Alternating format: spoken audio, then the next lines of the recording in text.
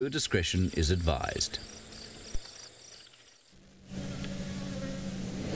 Hello, everybody, and welcome to this Sunset Safari with Safari Live. I am Stefan Winterboer. This is brought to you from the Mara in Kenya and South Africa's Kruger National Park, and we'll see you in a little bit with those elephants. This is Safari Live.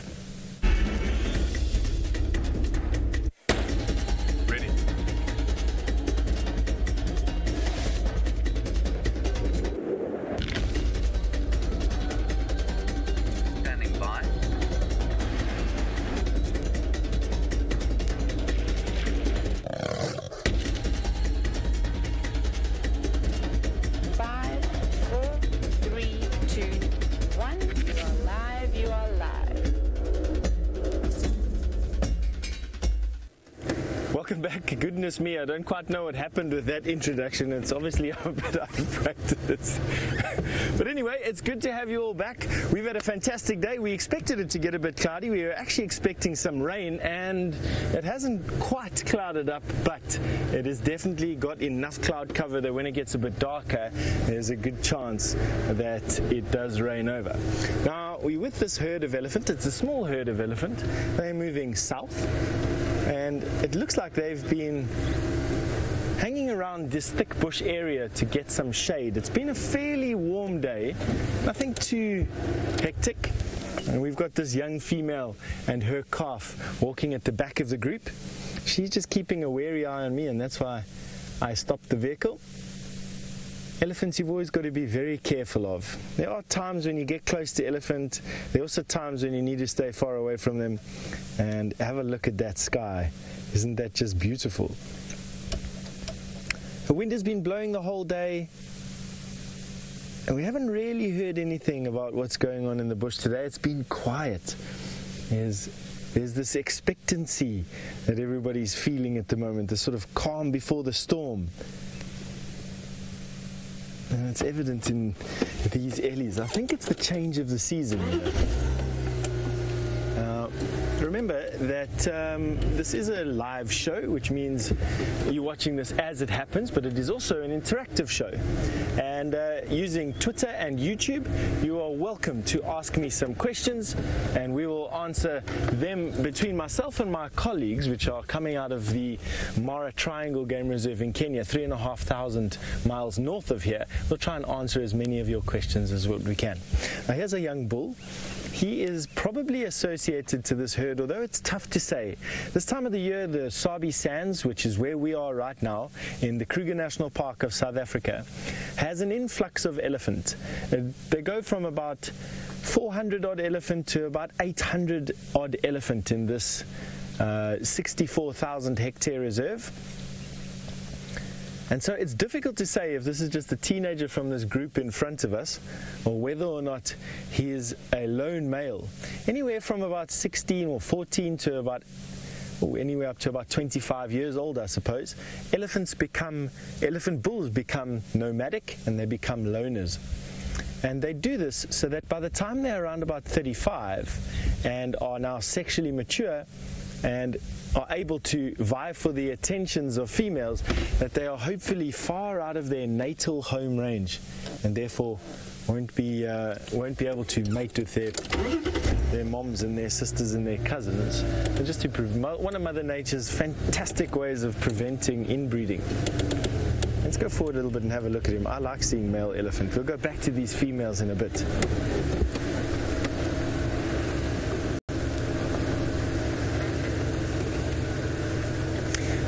And trains, you'd like to know is the first question of the day. What is the head of a herd of elephant called? Head of a herd of elephant called? It's called the matriarch, planes and trains. So the matriarch elephant is the oldest, fittest, wisest elephant cow in a group of elephants, and that's what it's called, the matriarch. Quite a nice name, hey? Hyenas are also also have matriarchs, and arguably, I would say that lions also have matriarchs. Actually, now why don't we shoot you over to my colleagues far in the north where it is going to be green and lush for them to say hello. And Scott is going to be the first one to greet you. Good afternoon, and it is a great pleasure to be the first to welcome you into the Masai Mara. It is a beautiful, hot, and sunny afternoon. As you can see, the wildebeest are littering the plains. My name is Scott. I'm teamed up with Craig on camera, and we've got a whole bunch of friends that are joining us today. Look at all these flies, and I'm attempting to make friends with them, but it's tricky not to get the shivers. I think when they when they do a moonwalk, then you, ooh, you get that kind of a shiver. We're in the hope of finding some cheetah. We got reports of both the Musketeer Coalition as well as Malaika and her two boys being in this general area. so, with a little bit of luck, we'll be able to find one of the two groups, and if we are very lucky, we'll be able to see those two different sets of cheetah converge. It would be a very, very interesting affair to witness. So that is our plan for this afternoon. Good prospects. They were seen probably about a mile apart from one another, but we are not sure exactly where they were left, and we are also not sure exactly what they've got up to since they were last seen by any tourist vehicles. So we haven't seen many vehicles out now, I'm guessing, because it's so hot. But hopefully some people will head out for the evening drive. Some guys who had better intelligence as to their position in the morning. And once we see a few vehicles clustered together, we know that there's a possible sighting that we can go and cash in on. Or we may just bump into something random along the way. It's World Animal Day at some point this week, and our plan is to pick an animal every day. I'm not sure if Steph's already let you know, and today is the leopard. And that would be a very, very welcome surprise. I've only seen leopard on two occasions in the three months of being here, which is obviously very different to the amount of leopard sightings you get graced with down in Djuma, where Steph's busy cruising about. So we're kind of relying on him to find the leopard today. But in this little valley off to our right, there's lots of cover and a possible home for a leopard. Or who knows what other interesting beasts may grace us with their presence. Happy to see so many wildebeest still in this area. Even if I stop here, so we've driven a little bit from the last view you had, and let's just take another view out. The views here are quite spectacular. Look at those clouds as well. Beautiful. Hello to Sinak. You'd like to know what has happened to the migration? Well, it has migrated, or at least begun migrating south into Tanzania. And they only spend about three or four months of the year in Kenya. The rest of the year, they are south of the Kenyan border in Tanzania, in the Serengeti. So they're on their way out, but these guys are the lazy bones, bringing up the rear end of the herds. Some of them will remain, and it's impossible to say whether the wildebeest we're looking at now may decide to stay or go. But not all of them will leave, nor will all the zebra, nor will all the Thomson's gazelle, which apparently also migrates. We didn't see a huge influx this year. There's some Tommies in the background. So it's quite interesting. It would be nice to get to the bottom of it. Apparently, when James was here last year, um, doing a few tests and getting some kind of stock footage, they did see Thomson's gazelle crossing the Mara River in September. So they were definitely later than the wildebeest and the zebra. But now we're into October and we still haven't noticed any major difference. Spectacular views, though. I hope you're enjoying.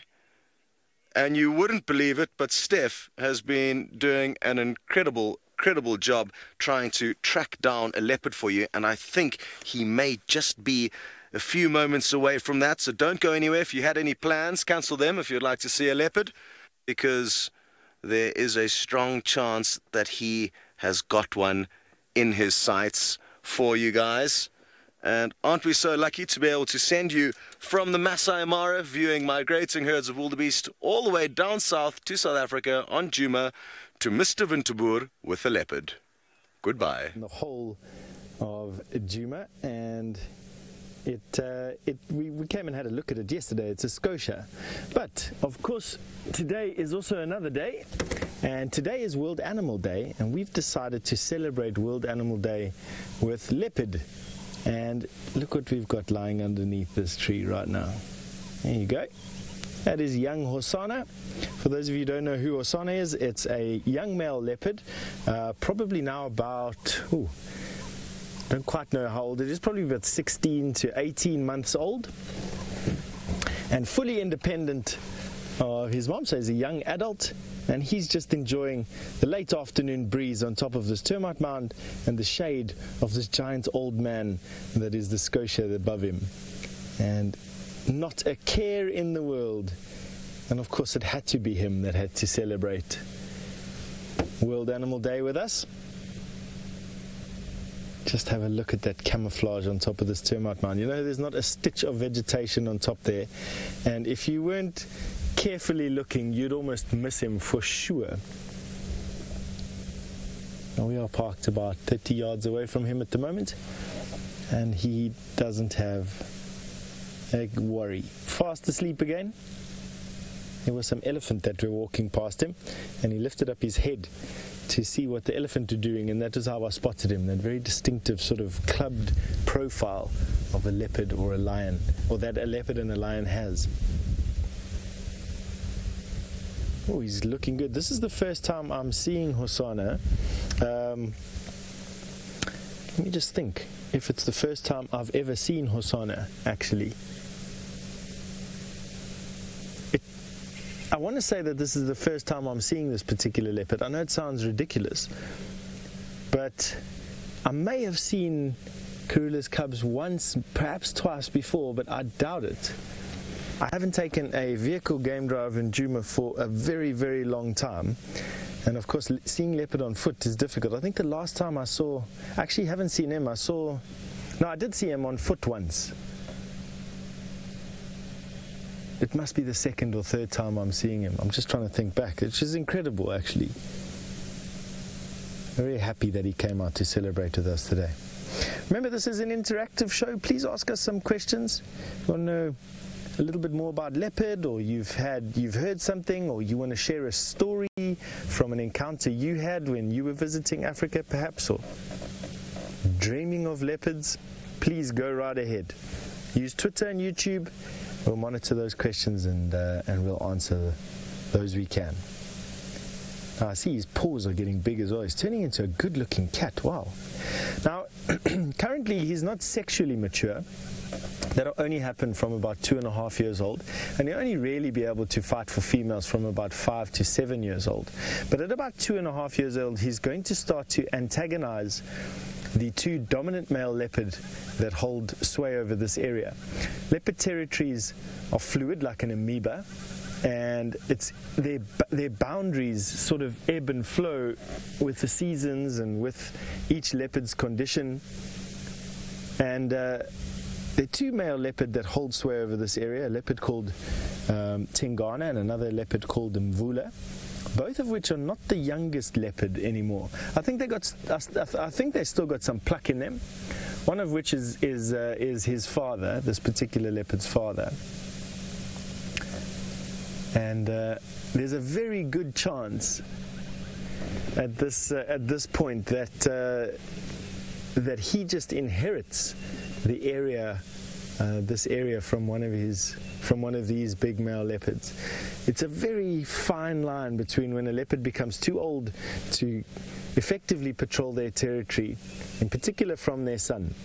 And while under normal circumstances, uh, this young leopard will be forced out and into a life, a nomadic lifestyle for about two and a half to three years, which gets them far away from their natal range. From time to time, as is the case now, a young male cub will be maturing and getting into their prime as their father is exiting theirs.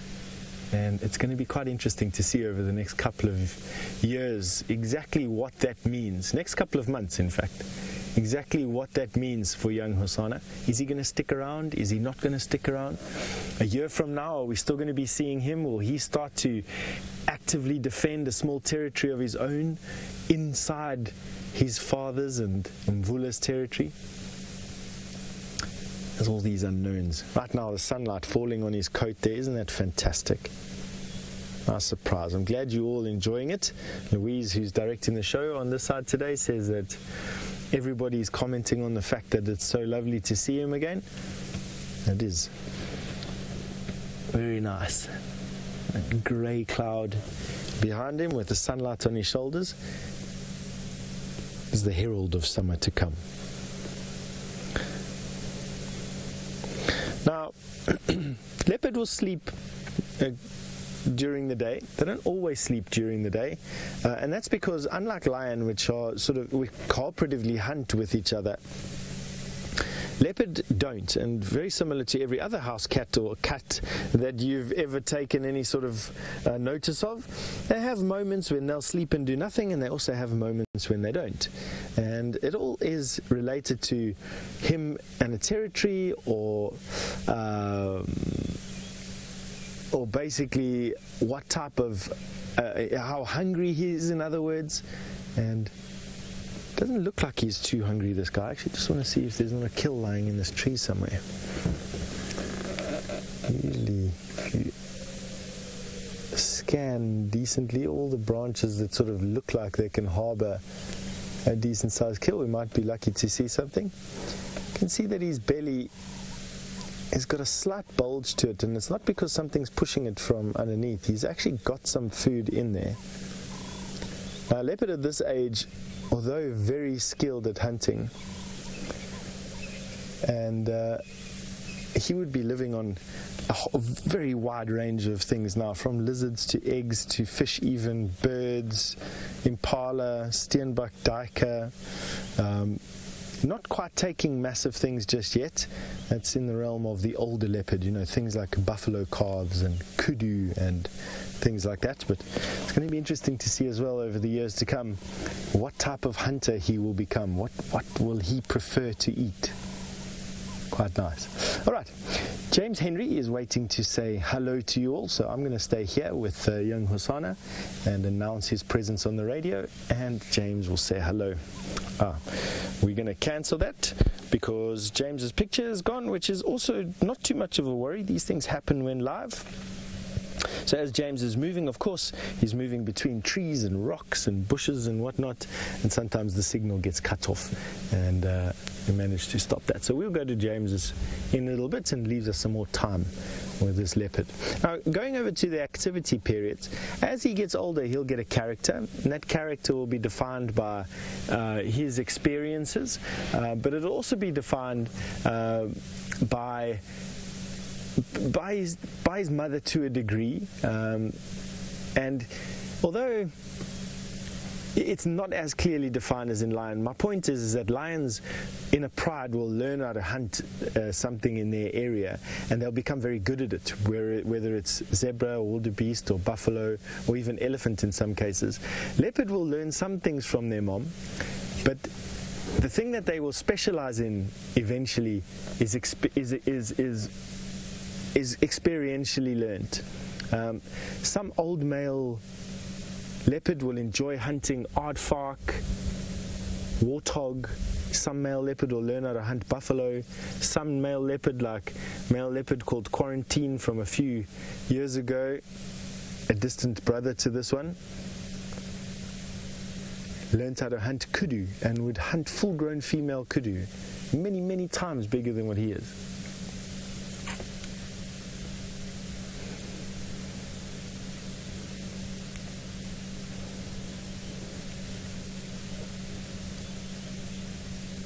ET bush lovers, you've asked me an interesting question. Is it is it possible to identify a leopard kill on the ground if it's not in the tree and obviously if the leopard's not present? Um, That's a good question because in areas outside of the game reserves where leopards are a little bit less common um, and also smaller, they hunt a, much more varied diet and it's made up of smaller things. So quite often you'll find something under a bush and it's quite difficult to tell which of the cats killed it. Now, obviously, tracks are one thing. Uh, you can distinguish a kill by using tracks of the animal. So that would be my first thing. Secondly, is where the animal uh, bit. Uh, you know, where was the death bite? Across the the throat uh, is quite common for leopard to do, uh, and caracal. On the back of the head, caracal and serval. Um, yeah, that is a good question. I would say that the only definitive answer would be really would be the tracks. You'd need to find yourself a track and then decide whether it was a small leopard or a large caracal, uh, in my opinion. And obviously, leopard tracks are much bigger than what those other smaller cats are. Good question there. Now, how long will he lay on this termite mound for? He'll probably be here for the next couple of hours. I don't think he's going to go anywhere. It doesn't look like he's going to. Chandler, you'd like to know if leopards can recognize one another from their spot patterns. That's another good question. I would imagine so. Um, in particular, mothers will, will be able to recognize children. Um, fathers would be able to recognize young leopard that grew up in their areas, whether they fathered them or not. Um, and you can see that they, they approach one another quite cautiously, but they will look at one another. And I think they do recognize facial features, very similar to how we would. I don't think it's at the same level of detail. We've got a massive portion of our very big brains dedicated to studying the faces of other human beings. And I don't think it would be the same with leopard, but I definitely think they can recognize each other over distance. And I definitely also think that they'll be able to do it using spot patterns, although not to the same detail that we would use them. You know, the spot patterns above their whiskers, which we use. But it would be more like an overall shape and size recognition. And when you see these animals for a long time, like a, a lot of a lot of our long-time viewers are even better than what we are at identifying leopard from a far distance away just by looking at their profile. And it's very similar, I would imagine, with uh, with these animals. Right now, we're going to be sending over to Brent, not James, uh, this time, who'd like to say hello to you all. Well, hello, hello, hello, and welcome to the absolutely magnificent Masai Mara. Manu and I are together this afternoon. My name is Brent Leo Smith, and we're going to take you on an absolutely fantastic adventure. Ah, what are our plans? Now, let me tell you our plans. Our plans are to head a little bit towards the south and up towards the escarpment. I'm going to go see if that female cheetah that James was with yesterday might be a bit peckish. After that, as the sun starts to set, I'm going to head down towards that hippopotamus uh, that Jamie had this morning with the lion and hyena. And who knows, there might be a bit of maniacal cackling and fighting over that carcass as it gets later on. It is, of course, right in the core of the clan lands, North Clan's territory. 80 plus hyenas versus one young male lion. Hopefully, he gets some.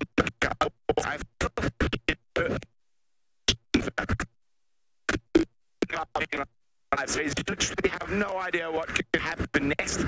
So remember, hashtag Safari Live uh, if you ask any questions.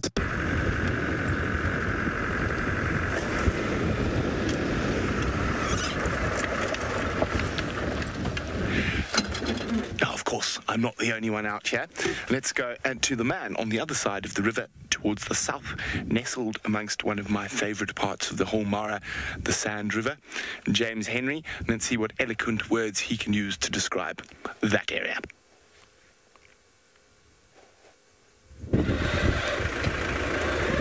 Hello, and good morning. No, good afternoon.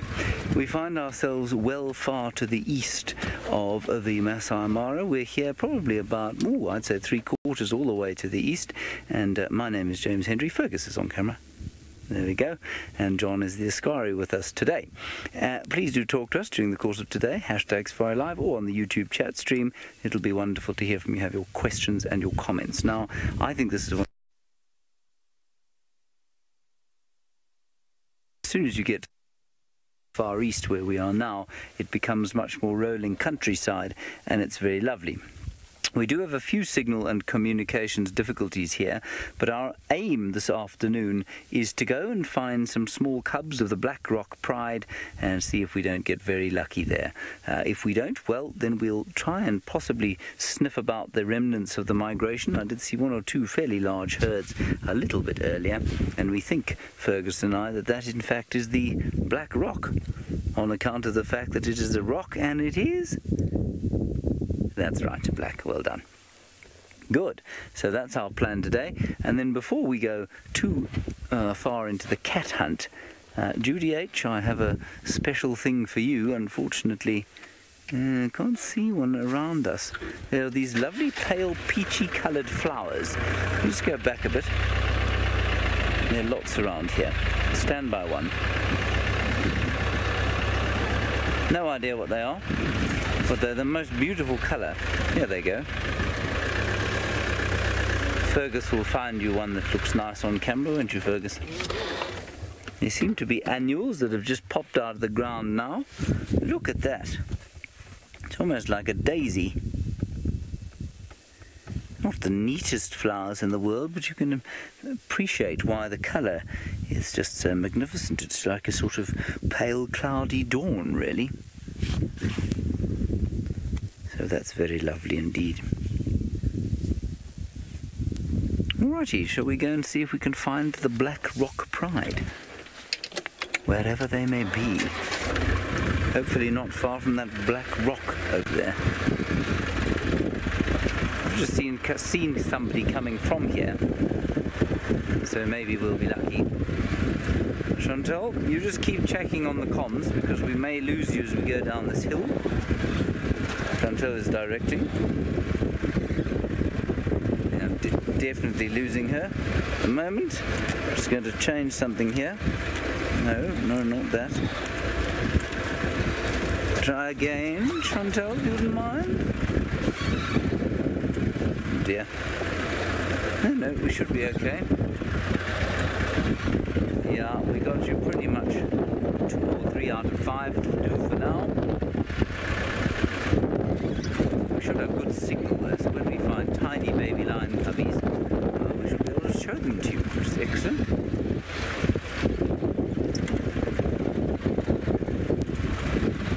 Alright, while we continue having a look around here, we are going to hand you back to Stefan Hossana. Obviously, you still have a few seconds to get there because, uh, well, you know, Steph's a bit slower than us, which means that he's operating 20 minutes in the past, 20 seconds in the past.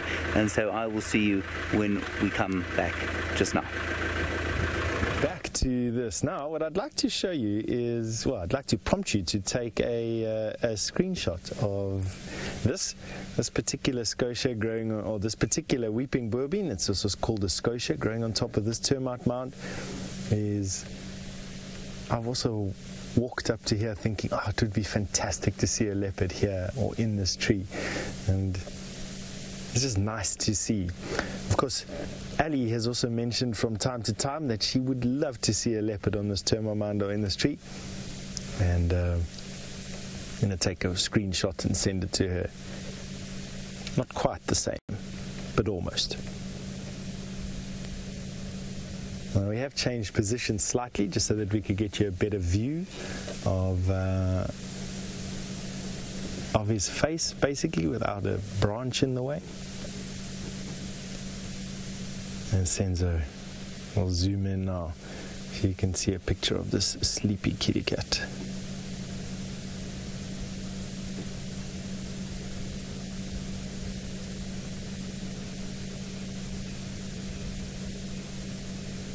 Isn't that just lovely? Flat profile, raised up above the bush, breeze blowing on him.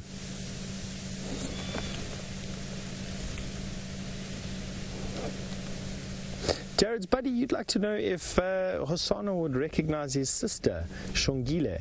Uh, yes, absolutely. He'll recognize her from a distance away. They'll become less tolerant of one another. First, she of him. As she ap- approaches two and a half years of age, she begins to become sexually mature and she will not tolerate the presence of a young, immature male around her, even if it's her brother. Uh, and at that point, she's going to start to elicit the attentions of the two older males in this area, the Tingana and Mvula.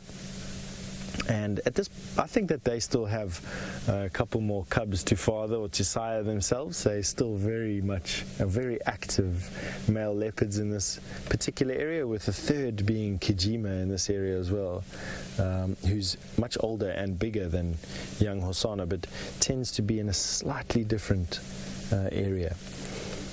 And so she'll get less tolerant of him, is basically my point, but she will absolutely recognize him. I think, and for a very long time as well. I don't think that. Uh, I don't think that they lose that ability. Ew, that is a beautiful animal.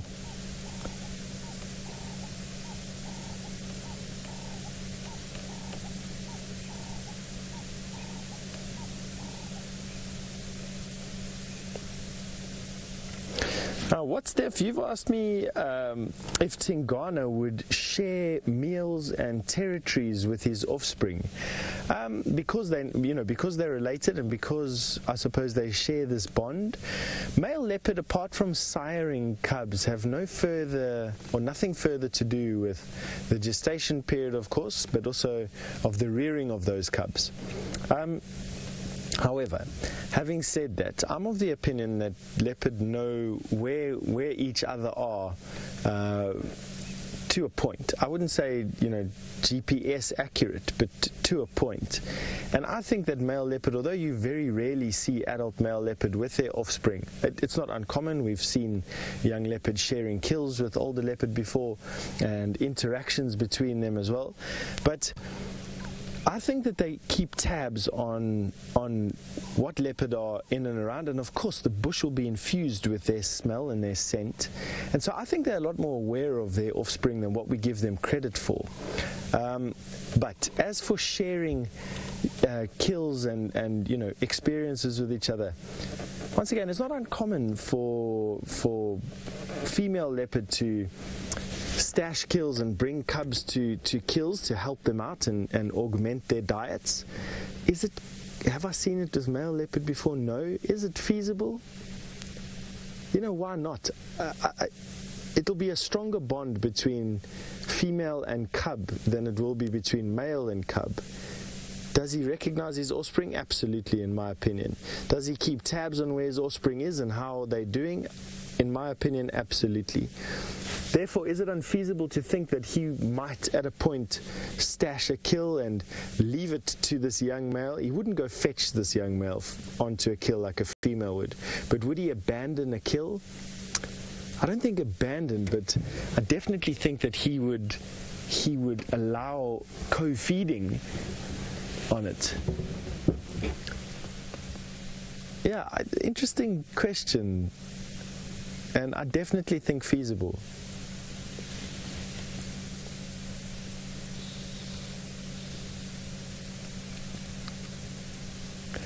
Granny, could Hosana and Tamba form a coalition uh, with one another since they're so young?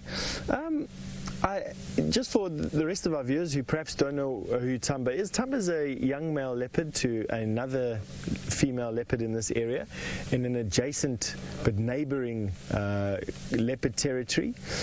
And the question is would these cats form an alliance when there's no blood relation? There is, there is of course, they share the same, uh, they share the same mother. Uh, Tamba's mother is this young leopard's mother, or Tamba's grandmother is this leopard's mother, basically. And so there is a blood tie there. Um, wow, would they form a coalition with one another? I'm going to say no to that. Um, the reason being is that male leopard don't form coalitions. They, they, they're just genetically programmed the same as every other solitary cat around, with the exception of lion, to be solitary. And I think that they would choose a solitary lifestyle over a coalition every time. The only cats to display coalition activity or coalition behavior are lions, and they are unique. The only reason why they have formed coalitions with one another is to bring down and be able to hunt large boned herbivores um, in, an e- in an effort to stratify themselves out of the competition between other cat species or solitary cat species. Um, and I don't think that I think that that is a, a, a, a genetic adaptation or an evolution rather than um, rather than something that is normally occurring in these in these cats. So I'd say no to that to that uh, to that question. Um, but a good question nonetheless. I mean, from our point of view, why not? I mean, they could help one another. They could they could uh, they could bring down food together. They could keep one another safe.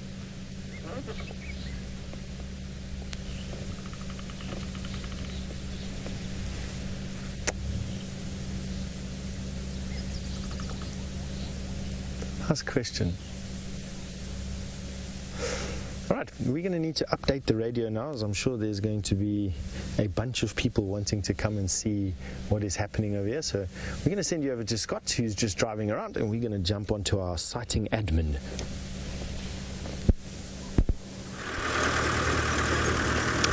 Well, that would certainly be interesting if male leopards did form coalitions. Sadly, it is not the case. It would be very nice if they did. Quite a bit of a crime scene that we've spotted here. A whole bunch of vultures and marabou storks. A seriously big bunch of vultures, actually. So we're going to go and take a quick look. See what all the fuss is about. And who knows, maybe it was the cheetah that we're looking for that made this kill a little bit earlier. It's going to be tricky to tell. But at least we are in the area of some kind of predator, one would assume. Having said that, though, the animal may have died of natural causes. That does happen from time to time.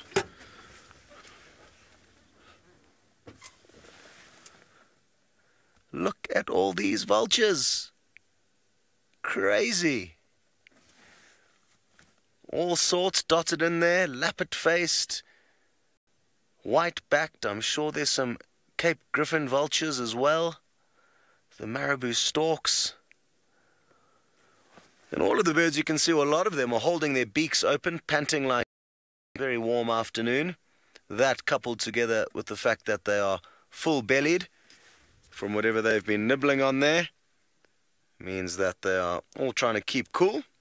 Thankfully, a cloud has just come over though, so that should help them. Let's see if we can take a close look at what they're nibbling on there, Craig. The ones on the right seem to be squabbling. Ah, it's a wildebeest. No surprises there. Oh, look at one's feeding straight into its mouth. Isn't that interesting? Oh, that was so cool. These ones coming, taking off towards us. Oh, now, if we'll get lucky, we'll see them start squabbling with one another. Ah, awesome. well, we are in pole position here. Seems like the runway is towards us. They must be flying, taking off into the wind. That will assist their takeoff. Not that there's much of a breeze. And I would guess a lot of them would have eaten their full and are now heading off to somewhere to roost for the evening.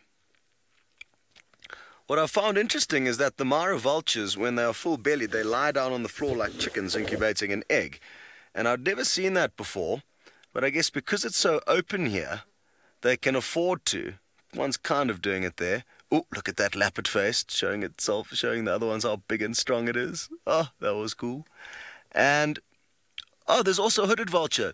So there's all three different types. Just to the right of the lappet face there, Craig, if you just zoom in, there's one with a much smaller head. Just to the right of the one with the big head on the left of your screen. So that's the smallest of the vultures next to the biggest. There's another hooded vulture with a pink head. That's popped in. Looks like a miniature lappet faced. And they all have their different role. on finishing up the carcasses. The ones with the big beaks obviously do the bulk of the feeding. Opening up the things that are tricky. Let's go hard left here, Craig, quickly. Just want to see what's going on there. There's a piglet running for its life. Look at that! now, I'm not sure why the piglet and its mother are heading off so quickly. So I'm just going to take a bit of a scan around. I mean, there's lots of Thomson's gazelle that seemed very relaxed in the area, so maybe it's just a nervous mother. I was expecting to see a cheetah tearing after them at one point. There was actually a Thomson's gazelle kind of running behind that piglet, and I thought it may have been a cheetah. Good. Well, I hope you enjoyed that little vulture restaurant extravaganza as much as I'm enjoying the flies this afternoon. You also now have the joy of going to James, who's found some other tiny creatures.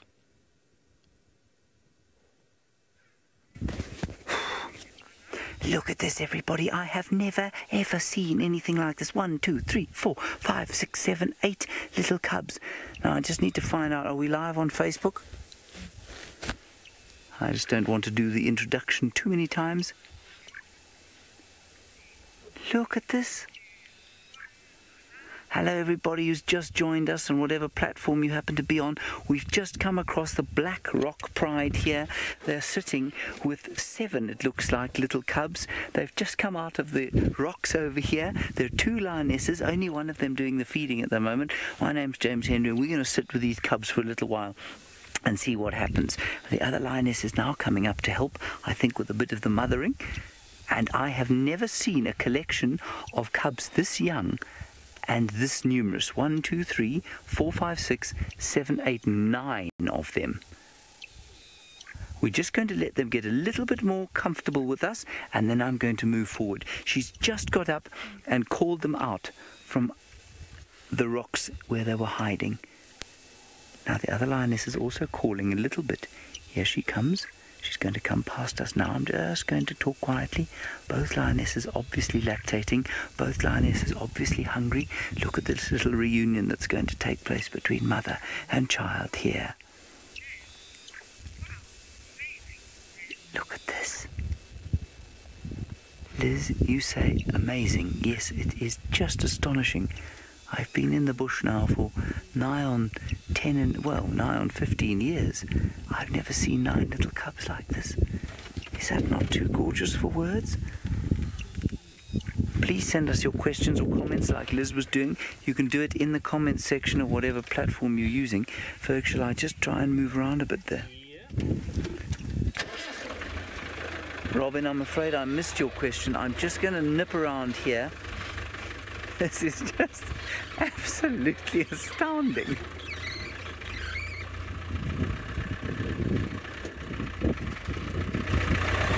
Oh no, I have to agree with you, Robin. You say nothing more precious than lion cubs. There, I, I've never seen a scene like this. I'm really quite gobsmacked by it. Is that right, folk? We're just going to talk quite quietly. Obviously, the sound of the vehicle is much louder than the sound of my voice, but of course, they have seen vehicles before. Now, I don't think that all of these nine cubs came from these two lionesses. There is another lioness of the Black Rock Pride, so named, of course, for the black rocks that you can see all around us. How old they are, I couldn't. Be- uh, well, I'm telling. I could tell you that I think they are between. I would say oof, five weeks, maybe six, up to about two months. They've all given birth at much the same time. And what that speaks to is some kind of a pride takeover where males came into the area, killed the cubs that were here, and then mated with these females at the same time. And that's created the situation where this enormous nursery of nine magnificent little lions. All right, I don't even know where to look here you're looking at ones playing with sticks. I'm looking at some others having a play around some other sticks. There are some suckling. There are others just kind of lying about the place. But we've just arrived at exactly the most perfect time because I think they're going to start their evening playtime, which is just the best.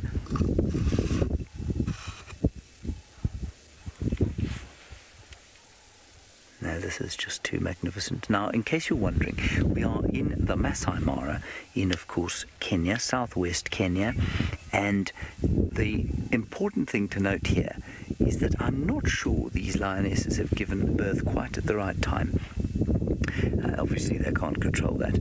But the mass of the wildebeest migration has moved to the south. There is one biggish herd quite a long way to the north of us, and so these lionesses, while not uh, certainly they're not bereft of uh, opportunities for prey, what they're going to do is just struggle a little bit more than they would have when the migration herds were here. But these cubs all look very healthy and very happy.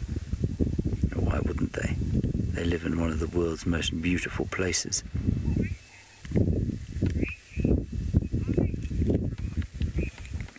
Rita, you say they're eating the grass. No, I think they're just chewing it, Rita. I don't think they're eating it at all. I think they're just playing. I don't think they're, they're eating the grass. This is just beyond magic. You almost can't conceive of it. Alright, if you want to keep watching this, everyone, just come to wildsafarilive.com. We're going to sit here for the whole afternoon. If something more astounding happens here, then absolutely we'll come back live on Facebook. So stay with us.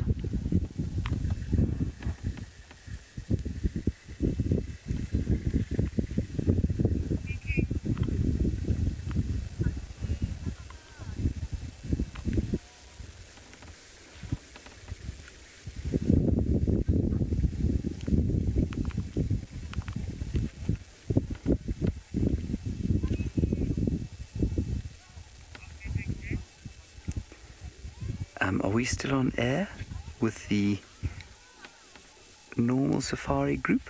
Our loyal friends and followers? There you are. Hello, everybody.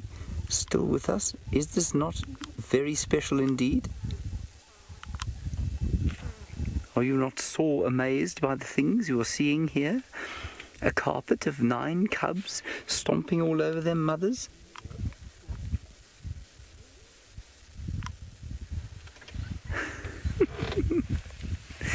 And well, well, obviously one of them, I think, is an aunt, unless.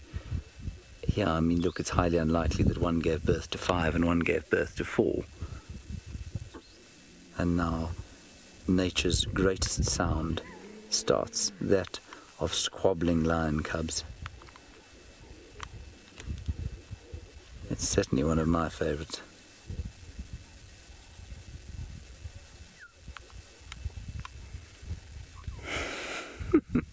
You know, I haven't had an experience like this. Well, I've never had an experience of nine little lion cubs like this. But my last cub experience that vaguely approached this was when the Nkuhumas, oh, it must have been 18 months ago, produced those three what I referred to as teddies.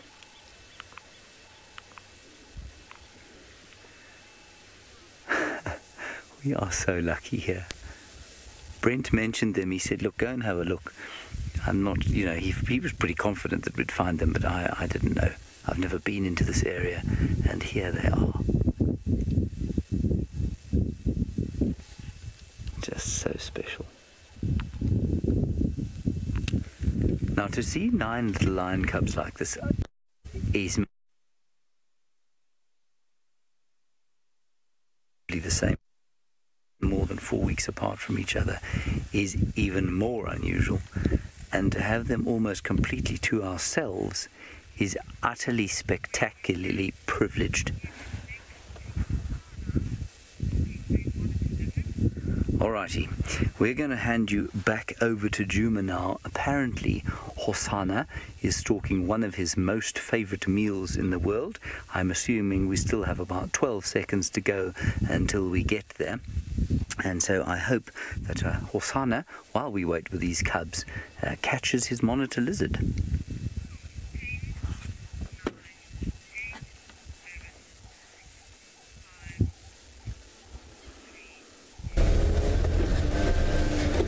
Hello, everybody. We've got something unusual happening here. We've got a young male leopard, and it seems like he has managed to separate two mating monitor lizards or leguaans. They're the largest lizard species that we we get here, and what's happened, I think, is that this leopard's been a bit confounded with which one to choose. The larger one, in my opinion, he's left alone and he's going for a smaller one. And monitor lizards.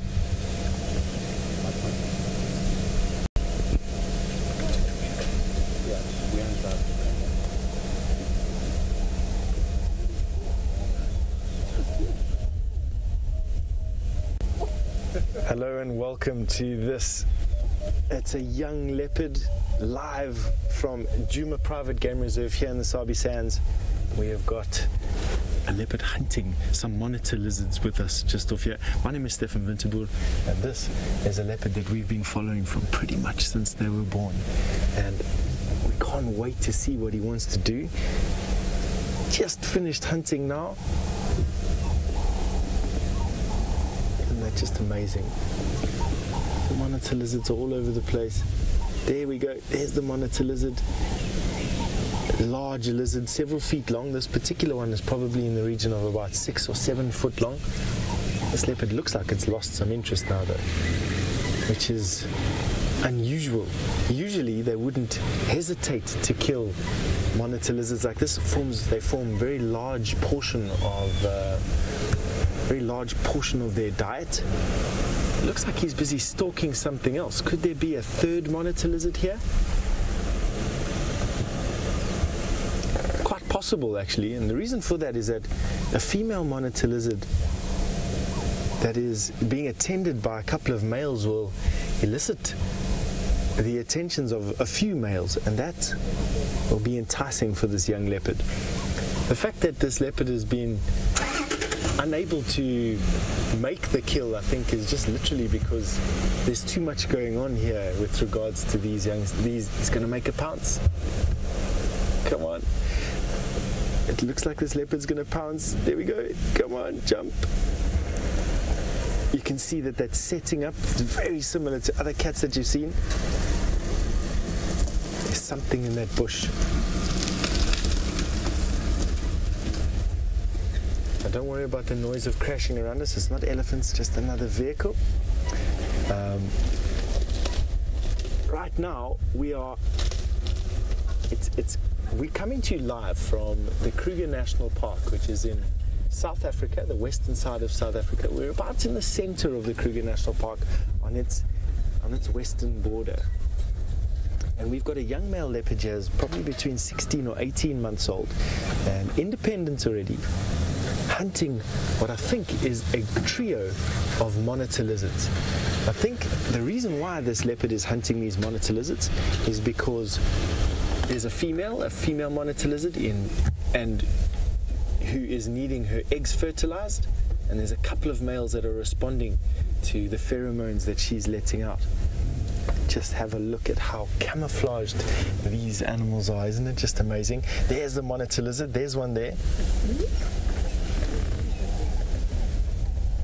The largest lizard that we find out here. I don't know what.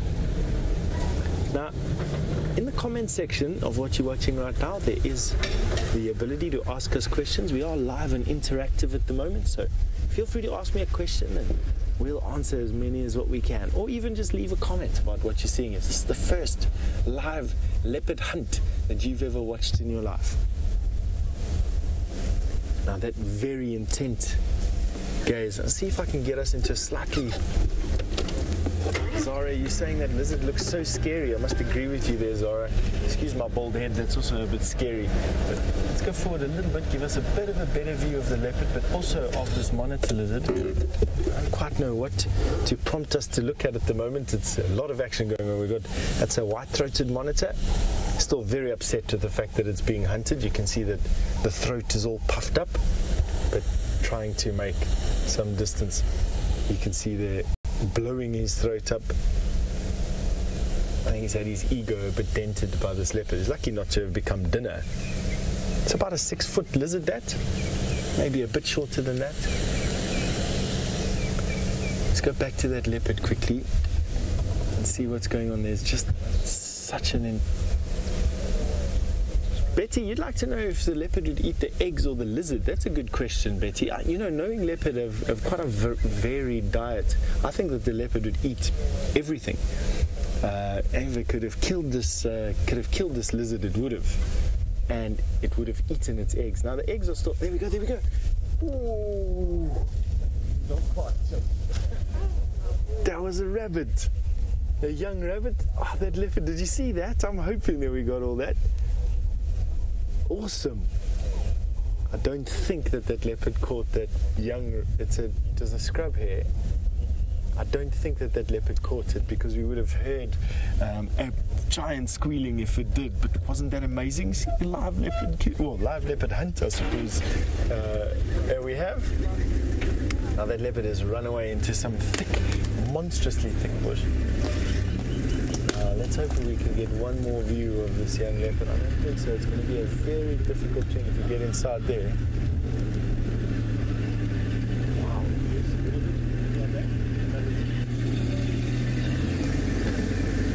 Let's see if we can change our view a little bit. Let's see if we can't pick out what that young leopard was looking at.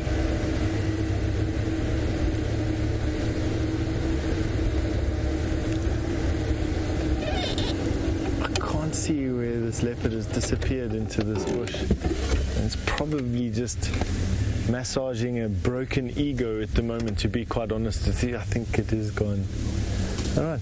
Well, that was that. I think for this particular leopard hunt, we will catch you again on another one of these live and broadcasts. See you all soon.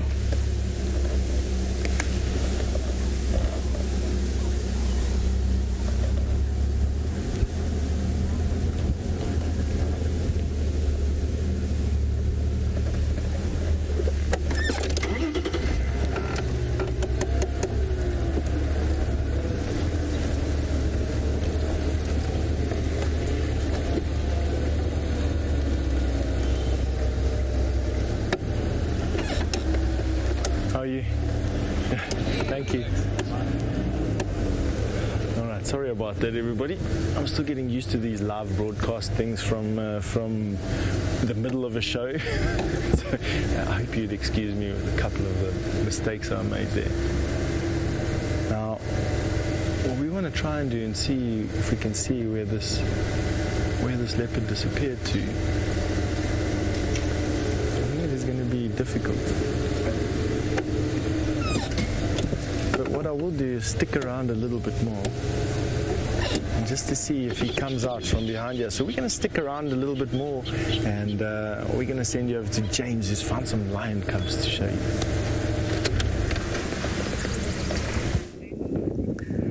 Oh, we're still here, and they are just behaving in a more and more magnificently adorable fashion the longer we sit here. They've come up onto this rock to have a little bit of a drink of water. There's a puddle in here, perfectly framed with green vegetation, and the lions are now playing with each other, with each other's tails, with their mother's tails. They're having a little bit of a suckle here and there. One or two have had a small swim, and the mothers, ever patient, are sitting on the rock wondering how it is that their youth has come to this rather, shall we say, stressful time of looking after nine gorgeous little cubs.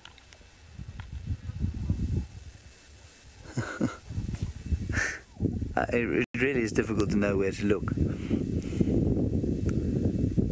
I cannot believe how lucky we've been. Thank you to Brent, of course, for suggesting we come down here. Just wonderful stuff.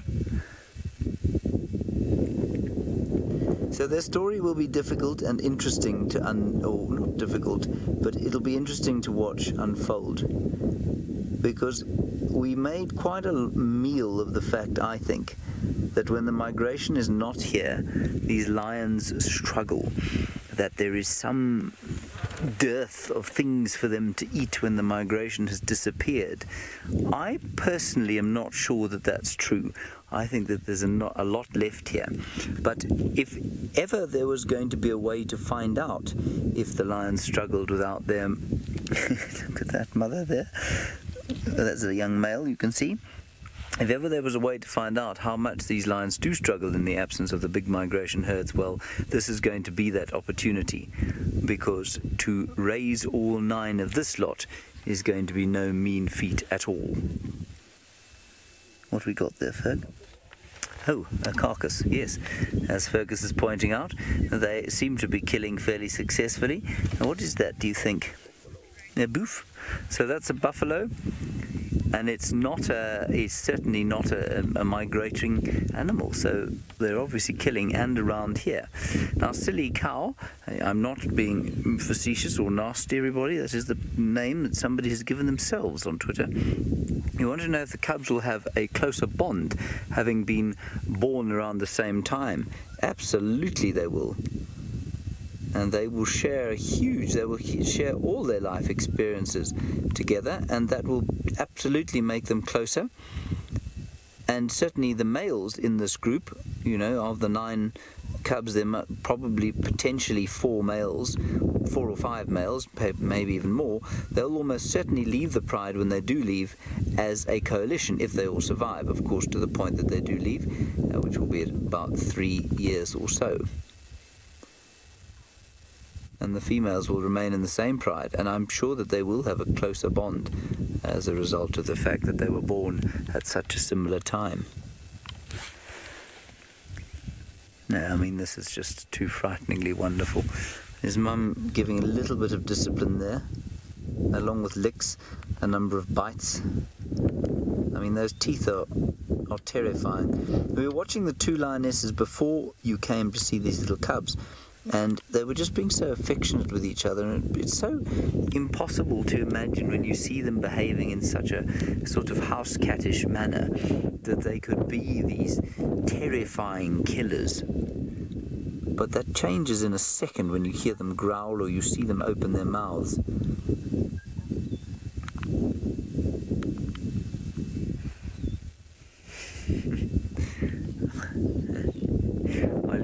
that one there, and I don't think you should look at anything else. The other lioness is lying on the rocks, got three or four cubs jumping on her. I mean, it really is, it's very special, this tail being played with. There's definitely going to be trouble here.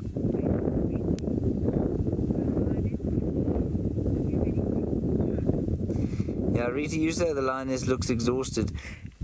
I, I often think they do, but you know, I often think that that's our human perspective being put onto them. I'm sure they do get tired having all these cubs around, but remember, they're unable to show any facial expression other than anger when they lift their or snarl or when they put their ears back. So when they're just sitting, but normally with their mouths closed and their ears forward, we don't know if they're tired or uh, hungry or sad or what they are. But I think that the thought of we know how difficult one human child is to uh, sort of raise. The thought of nine is just almost impossible to contemplate, and I think that makes it almost tiring to watch nine youngsters being raised by just two mums. Certainly, I, I have two nephews, and they they have given their parents more than uh, know more than their odd, their fair share of sleepless nights. I can just imagine my brother and sister-in-law trying to raise nine Jack and Williams, and it'd be an absolute nightmare.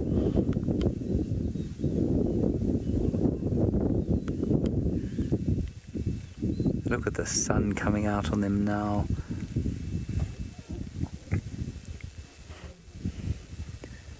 They're talking all the time. Oh. We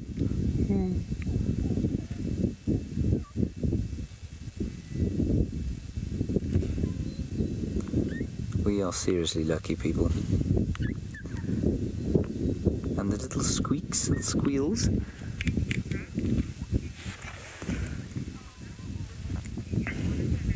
Now, I believe that Hosana is uh, behaving in a manner very patient, of course, but I would have thought that given the heat of the day and the, uh, well, I'm sure he's quite hungry and the prey that he's going for, that he would have done it by now. Well, let's go and find if he does manage to do it now. Welcome back, everybody. This young male leopard has come from inside the bush and come back out again and is lying very close to his monitor lizard, and I think the female. And uh, you can just see this. You can just see this leopard is lying in attendance with this thing. I think it went after the easier went after the easier prey, and uh, and is now just lying up well, after the easier prey in terms of the rabbit that had chased and missed, but now.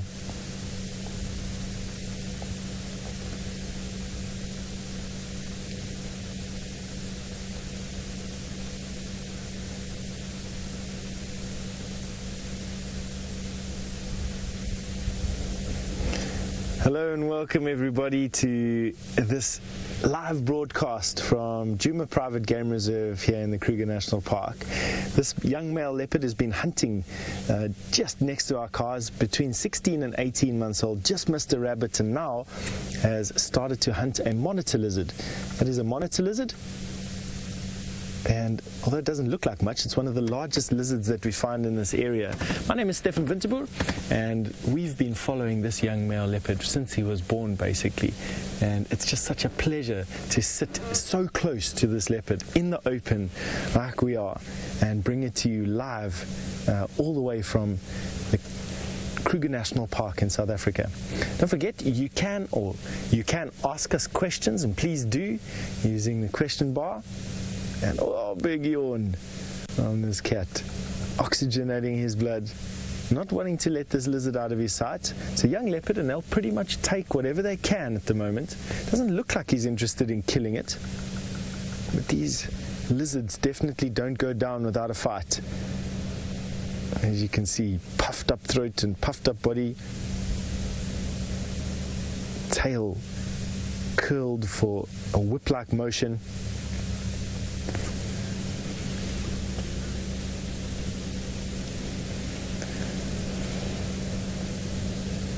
And they're lying down. Isn't that amazing? Now, these leopard are so relaxed with us because we don't. Oh, look at this. Let's see. These leopard are so relaxed with us because pretty much since they were born, we've had a very uniform. Uh,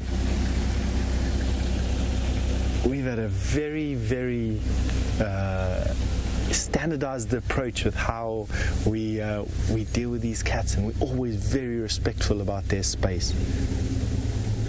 Now, Pippa Moolman, all the way from Hoedspruit in South Africa, has just said, "Hello, hello, Pippa. Good to see you, or good to hear from you." Now, what this young male leopard is doing is stretching out the tendons in the claws it's as much a display of its insecurity as anything else. I think that this lizard is giving this leopard pause for concern. These lizards bite incredibly hard. They've also got raking claws that can do some damage. However, I don't think it would do much damage to this particular this particular cat at all.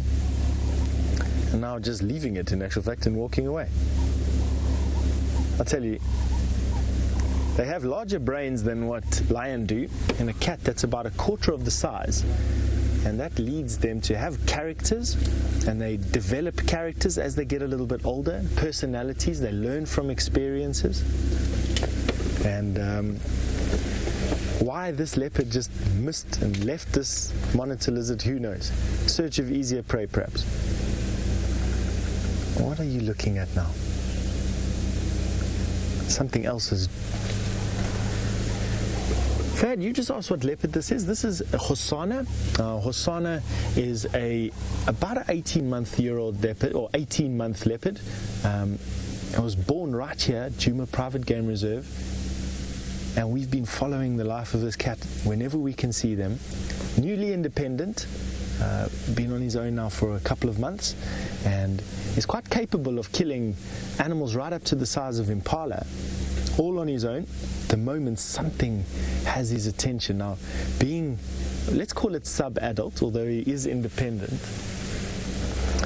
means that they have quite short attention spans, and things like movement in these thickets will definitely grab this leopard's attention. And you can just see how wonderful that camouflage is. The moment, the only thing that you can really see is the flicker of the tail. And that is standing in open bush. There's only two, two scraggly little branches between us and, uh, and that leopard. And already the edges of that cat blend in so well with the bush uh, behind it. This is our dry season in the Kruger National Park. Ooh, there's something walking there. That is a grey duiker. It's an antelope right in the prey size. We're going to see a live hunt, everybody. This is a hunt. What are you doing, youngster? You're, of course, going to go out of our view right now. Here we go. Up on the side of a termite mound. Going to use the cover on top of the bush. What are you going to do? Stalking. They ambush specialists, getting within five to ten meters of prey before pouncing. Let's see what's going to happen right now. We can't move from where we are. This bush is too thick for us to get through. We're going to have to just take it as it comes now, and hopefully, Lady Luck smiles on us and we can see most of this hunt. This leopard using the cover that it has and has just disappeared over the side of that termite by now. I'm going to use my ears now and hopefully we can hear the kill taking place and we can get into that tight bush to see. There we go. Out the back, I can just see his head sticking out the side. Look how low they can go. Dead quiet, but that flicker of the tail, that, that is quite often what spoils a hunt. Young leopard, tail flicking and agitation and just that lack of confidence. They'll learn how to become deathly quiet. Hey, watch that tail, there he goes. Are we going to see the sprint? Oh, hidden behind the bush. No! Just see the kite moving there. Are we going to listen now? Let's see if we can hear a kill take place. We're not going to go crashing through there. We might disturb that particular hunt. And what we don't want to do is steal food from a young male leopard. They need every protein calorie that they can get.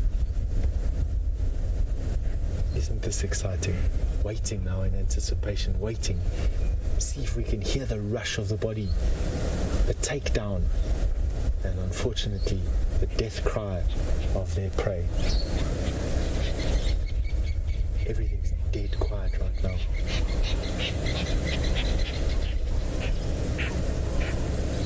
And so are we.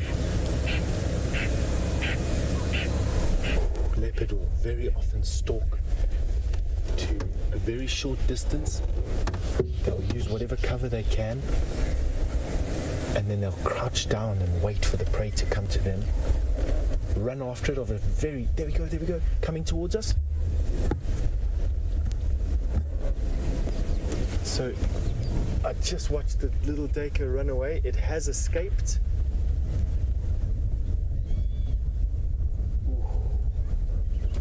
So no dinner that easy for this leopard. I have a feeling this leopard's going to come straight back to us and carry on looking after his monitor lizard.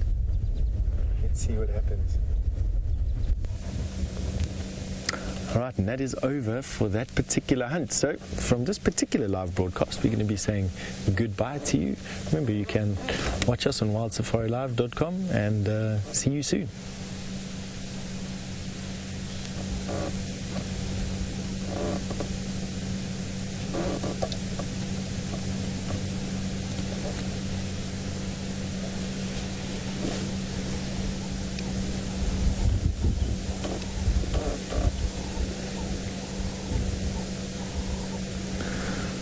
Wasn't that exciting? Please excuse me again on that. Uh, I must be honest, trying to do these uh, these um, uh, unscheduled broadcasts from inside a scheduled broadcast is It's quite special. Right.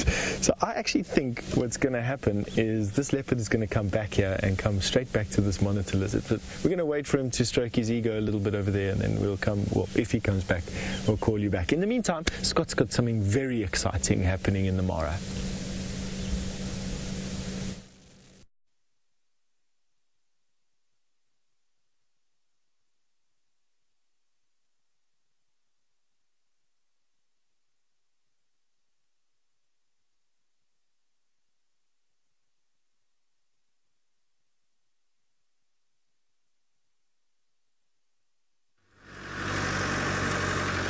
Hello, everyone. Good to have you back, albeit surprisingly quickly. And apologies for the small technical glitch there. Um, we've just left Malaika and her two boys, a family of cheetah, behind, behind us. Um, they're full bellied. They apparently killed a wildebeest yesterday evening and they're still looking quite uncomfortably full. So we've headed off to see if we can't work out where these five males could be, the Musketeer Coalition, because we have heard mixed reports that they could be here, they could be there, so either way, the only way we're going to have a chance of finding them is by driving around and searching. So that's our plans. It sounds like you've been having a wonderful time with Steph and Hosana. Looking forward to having a look at that monitor lizard interaction a bit later. It's turning out to be a beautiful evening. It's cooled off now, thankfully. When we headed out earlier this afternoon, it was quite warm. So enjoying the cool relief of the clouds. Very, very marvelous. It's quite interesting. We're getting to a point now where we, or at least I am, having spent three months, a lot of, of which in this general area of the reserve or of the whole Mara. And it's quite nice getting to slowly getting to know the areas. I remember the Musketeer Coalition early one morning climbing up that tree over to our right there. The one at kind of between two and three o'clock and doing some scent mar marking. That was just after we had some beautiful silhouetted views of them. Some of you may have seen my photographs of that. So quite nice to get to know the area and by getting to know the area it's going to increase our chances of being able to find you guys animals because now I know even if the males I don't know their exact whereabouts. I know a few of their kind of routes that they like to use. So I'm going to explore a few of those routes that I've seen them travel on before. And while we do that, we are going to send you traveling across to James.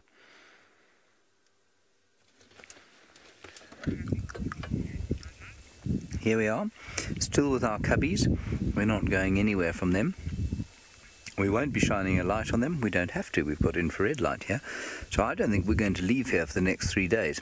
I mean, I don't obviously mean that, but we're definitely going to come back here and check on them over the course of the next three days or so. Because this is just too magical. There's a bit of feeding going on. There's a lot of playing going on. There are a lot of flies around, most of which are going to die fairly shortly at my end.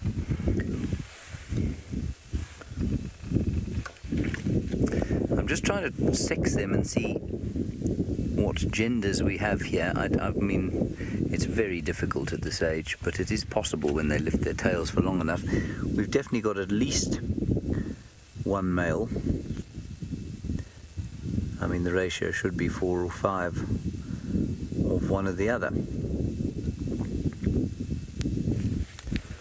And the reason I think that there might be, normally, of course, lion cubs introduce the pride at about six months. Not six months, six weeks. The reason I think they're a bit younger here is that this is the actual den site. And this is where their mothers gave birth to them, apparently. So I think we've been very lucky to catch them at this age. And I think Brent, Brent saw them It was last week or the week before. So, I mean, he's seen them even smaller than this. And just such a privilege to be able to come and watch them at this age.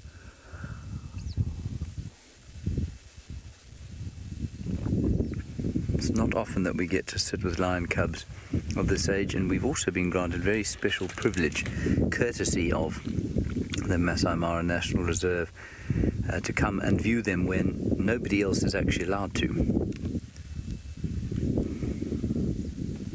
Oh, and as the light comes out, the whole thing becomes that much more beautiful, if it could possibly.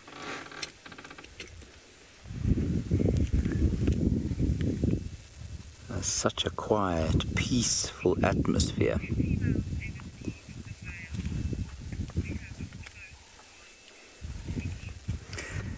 Nikki, you want to know if males ever leave the females or females ever leave the males because of close bonds? I'm, I'm not really sure what you mean there, other than to say, uh, you know, brothers or males will leave the pride, uh, we think, in order to uh, reduce the chances of. Uh, of inbreeding. So, I mean, cats can inbreed and do it without any harm, uh, up to apparently about six generations. I'm not sure how often that's been worked out or how often it's been tried but it is absolutely possible. And so, what you have here is a situation where, yes, let's say there are four males here and five females. If the four males grow up to be sort of three years old, they will start to um, show amorous intent, shall we say, to their sisters and to their mothers and aunts. And it's at that point that the males will chase them out. Not because the males necessarily have any insight into the trials and tribulations of incest, but because they don't want to have the competition. And so that's how Lion Society has made things work. And the, with the leopards, for example, males normally disperse quite a long way from their female from their mother's territories. Ferg, the one stalking up now, has got himself covered in mud.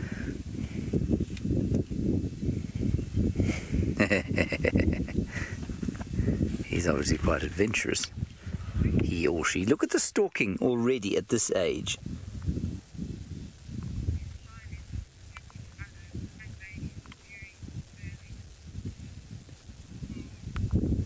Sean, you're wondering if lions protect each other during the birthing process.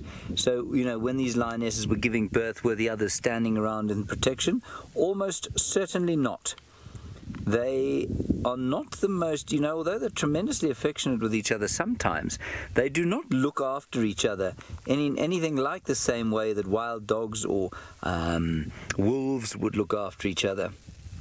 So you know, if they, if one was giving birth and a big marauding male lion or massive clan of hyenas came bungling in, yeah, you know, they would defend it in the they would defend her to the same extent that they might defend a kill. So it wouldn't be uh, not to the extent of injuring themselves, and there wouldn't have been anybody sort of sitting guard while she gave birth.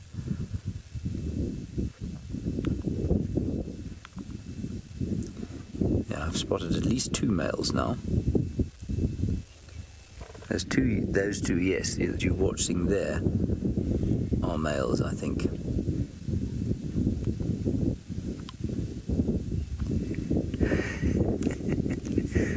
this is just great stuff. I'm not sure why the one poor mother is being attacked so much more than the other, but when we found them, it looked to me quite a lot like one lioness had much more swollen teats than the other, and I wonder if she isn't lactating more and therefore having to bear the brunt of the suckling duties.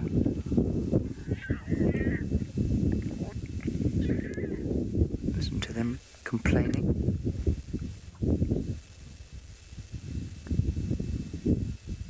I wonder where the other lioness is. Maybe she's gone off hunting.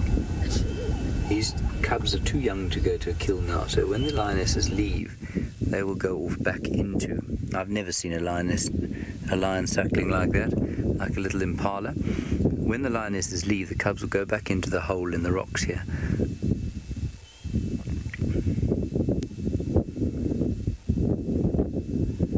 We've got a Cape turtle dove in the background, or ringneck dove calling bit of wind blowing. The wind very seldom stops for any length of time in this area. And as I said during our recent TV show, the smell, sort of half goat and half cattle that used to sort of fill the air, has now dissipated. And it's been replaced by a smell of the grass. which of course is one of my very favourite smells.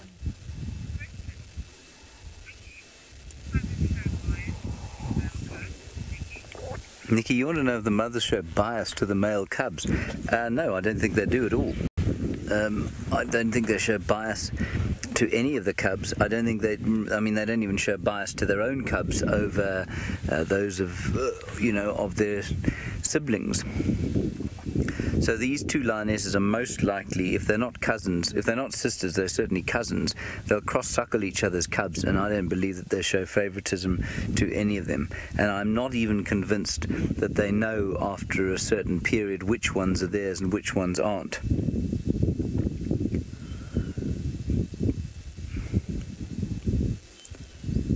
That said, of course, they can recognize their individual calls when they're adults, so I don't know what the story is as far as um, you know, as far as them being able to recognise their own cubs is. But because they're cross suckle, I suspect that they don't really they don't really differentiate.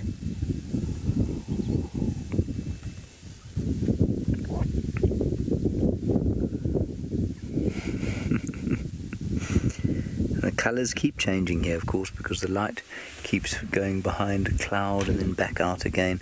And mercifully, Fergus and I have stayed uh, out of the rain today, haven't we, Fergus? Had one very brief little drizzle very early on, uh, but we seem to have escaped it for now, which is great news indeed. Right, I believe that uh, Hosana has managed to escape out of whatever thicket that he was stalking his duiker in, and I'm hoping that he will possibly go on the stalk again, perhaps as it gets a little bit darker. But Stefan Winterboer, the mystic boer, will tell you all about that now. Welcome back, everyone, and we've managed to find and relocate this uh, this leopard with uh, Aubrey's help. He missed his kill and is now just relaxing on the bank of the line, about 100 yards or so from us. And uh, there's a lot of elephant in this area, and I think he's just busy making sure he doesn't get caught in a position where he can't uh, get himself out of. Um, very relaxed at the moment, I think, with the exception of just having a bit of a bruised ego for missing dinner. Oh, he is in good condition. Eh? Wow. Loving the fact that he's so active. He's left those monitor lizards that he was hunting, but still very alert to what's going on in his surroundings. These ellies are going to have an effect on clearing the bush out in front of them. So any little, any little antelope that's around, or any morsel, these elephants will flush out of the uh, out of the bushes, and hopefully into the waiting mouth. I think it's quite nice following around elephant for leopard. You see it quite often in leopard following around large-boned herbivores, elephant in particular, buffalo, sometimes rhino as well. You can see watching just past us, lots of ellies around.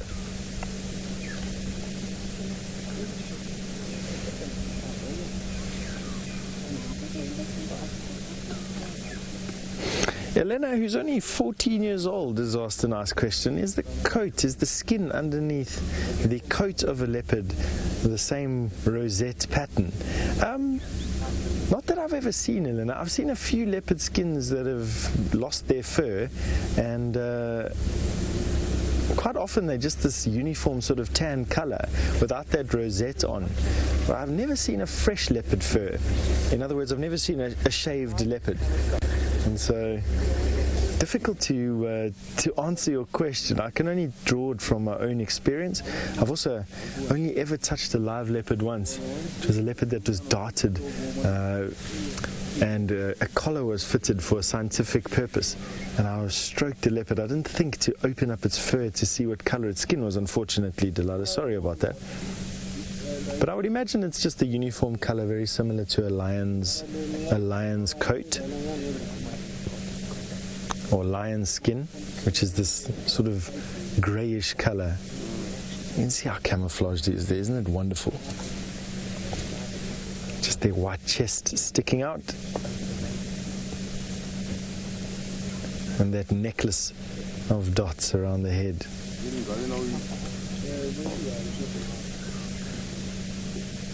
Really beautiful. A peaceful sighting. I mean, this leopard has got all the bush in the world you can see to hide away in, and it's we've just been very, very fortunate to have the sighting that we've had of one of the most elusive of the big, definitely the most elusive of the big five, which is a very difficult thing to uh, to see in most African parks. This being one of the best areas in the world to see leopard.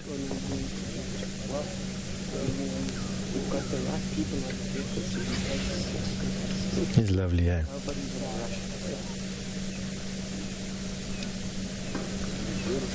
Just every now and again, something catching his attention.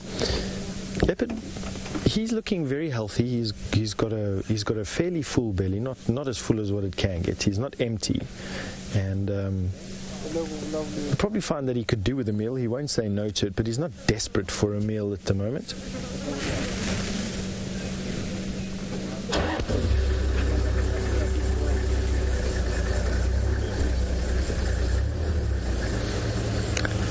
Now, Michelle, who's also only 14 years old, has asked a question Would Hosana mate with his sister, Shongila, if there were no other leopards uh, available? Now, the answer to that question is yes, and they would.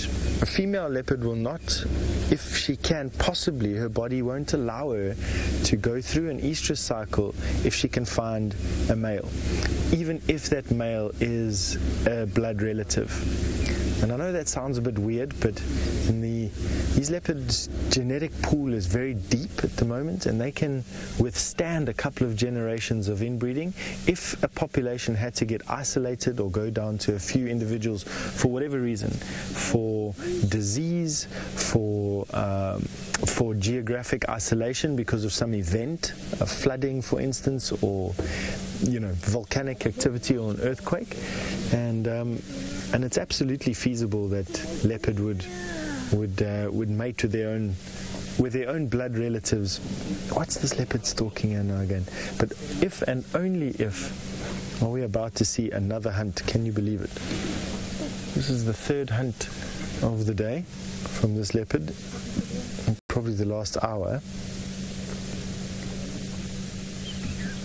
That very intense stare. And get yourselves ready for the pounce. What are you going to do now? What is it that you've got? Is it going to be third time lucky? Hold thumbs, everyone. You can feel the pressure building. Come on. Are you going to put that foot down? It's balancing just on one leg at the moment, it looks like, eh? Look at the camouflage on the back of that cat. Isn't it just absolutely fantastic?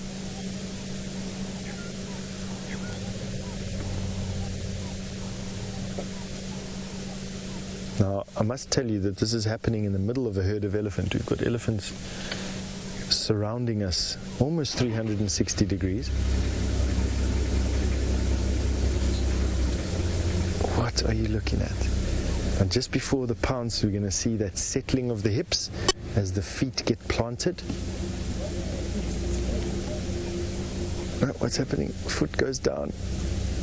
That relaxed posture. Been, he's been balancing on one front foot the whole time without even a shudder. Muscle density roughly 10 times that of a human, and so they've got a lot of muscle packed into that small body. They're capable of carrying their own body weight. There you can see just settling again. You can see those hips. Come on, boy. You can do that. Is he going to go? You can see that settling of the hips. Look at that.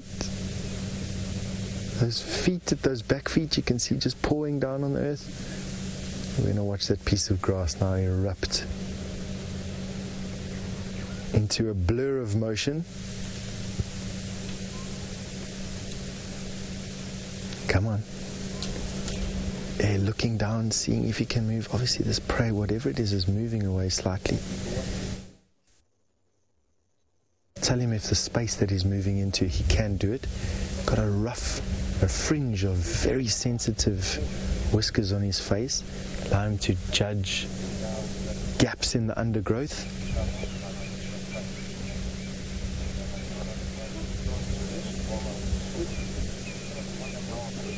And you can see that hips wobbling. That's what I keep on saying. He's on the verge of pouncing. You can see that. There he goes. What are you going to do? Wow, that camouflage is amazing.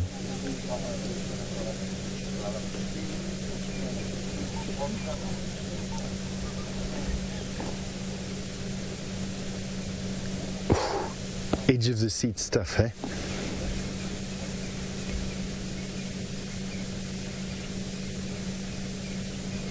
I must say, uh, myself and Senzo are also on the edge of our seat over here, and I think everyone else. Come on, what are you going to do? Are you going to jump now? Or are you going to try and wedge your way through those sticks and risk exposing yourself? Or you're you just going to take a leap of faith and clear those branches in front of you? It would be uncommon for this leopard to jump over those bushes unless there was no other avenue left open to it. Generally, they like to keep all four paws on the ground if they possibly can. It also allows them to change direction. Of course, as he breaks cover, whatever was looking at him or whatever he's hunting is also going to make a go for it. I'll be able to jink around. I still can't see what it is. Could be anything from a bird to a snake.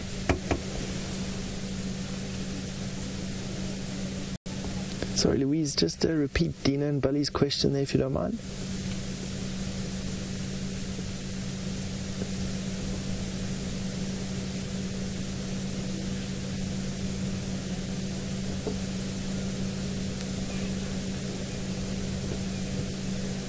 Yeah. Buddy, you've just, please, excuse me, I, uh, I didn't hear it first. You're saying, please go and get dinner, Hosana, go and get it. And it's moved along? Oh, was it a scrub hare? So he was hunting another scrub hare, possibly even the same one that he missed a little bit earlier. He's darted off now. Now, Hosana, this is the third time unlucky, boy. What's going on? I know, you think. Uh, yeah. You think that he'd have the dignity to flush a slight rosy red now, hey? But he is a youngster, and this is how they learn. He will only get better, can only get better. There he moves out. Obviously likes hunting these scrub hares. Okay, we're going to move forward a little bit to get into a better position so we don't lose him. Right, and while we uh, while we move position, what we're going to do is go over to the Mara for some potential cheetah cubs in a bush.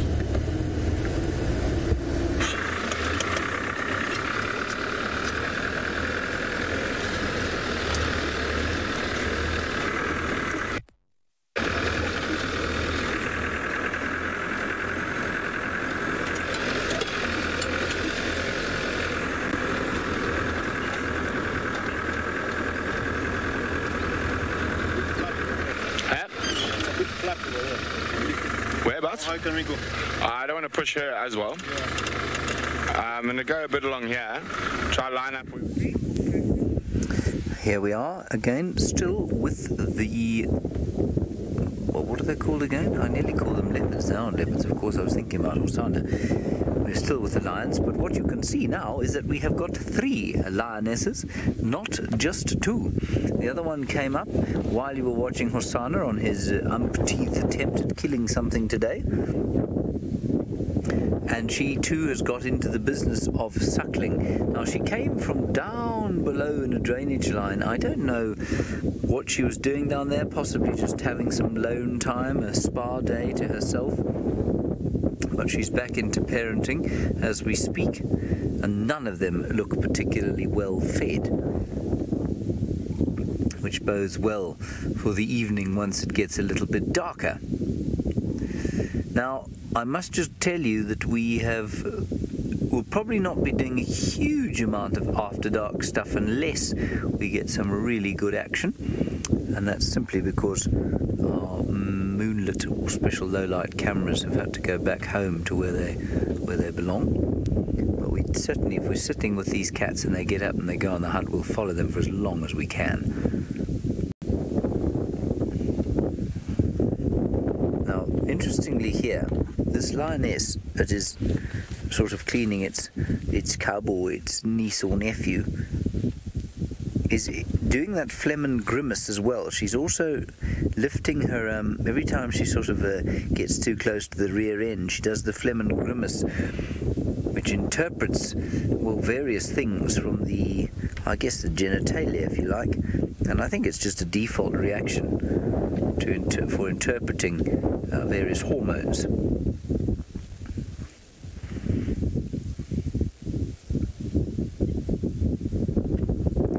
It just looks so peaceful now, doesn't it? Here comes another one out of the waterford, coming back towards the melee.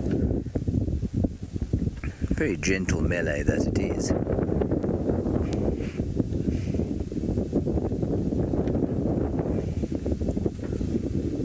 With them little playing here, it's just too precious.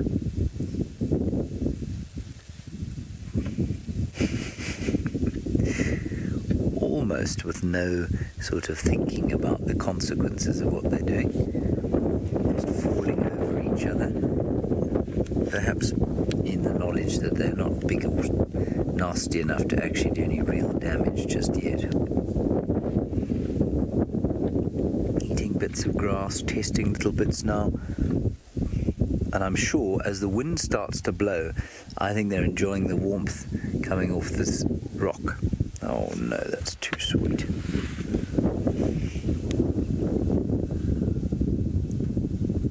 They have the perfect little hidey hole here, safe in the rocks from any other predators, bit of water for them to drink, nice and warm when it gets chilly at night. And of course, the warmth of nine little cubs sitting next to each other and in a sort of carpet must be very special on a cold night. They really do look like teddy bears at this stage of their lives.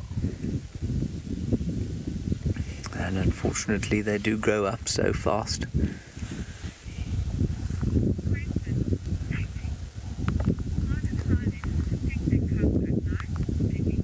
Steffi, you're wondering how they protect their cubs at night. Well, Steffi, only through either being here or um, by you know fighting off whatever might come this way. But what will happen, Steffi, is that when they go off hunting, the cubs will disappear into the rocks here, and they'll be invisible to anything but a uh, well, but maybe a hyena that came looking. A hyena be able to smell them, but they'll be in a hole I suspect too small for a hyena to get at them and so they would probably be entirely safe.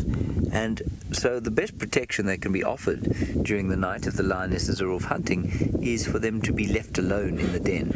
I also think, and I have never read this, so I'm not sure, that the fastidious cleaning that you see going on here is a way of making them smell less. So although I'm sure they do have a scent to a sensitive nose like a hyena's, they are not tremendously smelly creatures. Look at this little curious little thing coming up towards us. I think a lot of predators that might otherwise harm the cubs would just walk on by here and not even realize that they were around. They would definitely smell the adults, I suspect. Now, I believe Brent Leo Smith has managed to find some cubs of his own. Whether he has any communication or not is another matter. Let's find out. This is so very exciting, everyone. This is definitely one of the things I've been looking forward to most in the Maasai Mara. And we've been mountaineering, we've been climbing. Now you're going to have to look very, very carefully into the center of the shot. And every now and then you will see some movement. Now there is a female cheetah's tail flicking, but watch carefully. Every now and then you just get the vision of the tiniest, tiny cheetah cub. I mean, half the size of a domestic cat. These things are minute, days rather than weeks old, hidden right up against the escarpment. I'm not sure which female this is. Look there, look, look, look. There is one. Look how small it is. Oh my goodness. It is just to die for. Those things, they can't even walk. Their eyes are pretty much closed still. These are days, days, days old. Manu and I are just too excited. Now, she has chosen the most splendid den site, in my opinion, due to the fact of all the nasty lions and hyenas around and leopards. She has chosen a spot. Now, Final Control is struggling to see them, but I know you guys can see those tiny little tails whipping. One just climbed over. So you got to look carefully. I mean, these things are tiny. They are minute. This is these are the smallest cheetah cubs I've ever seen in the wild. Put it that way. And I've been living in big five game reserves with cheetah since I was four years old, and this is the smallest cheetah cub I have ever seen. Now, there's at least two that I can see so far. I said, you just got to look very carefully right in the center frame. Well, the one cub moved up towards the left, towards the green bush. There seems to be another one still scrambling around mum.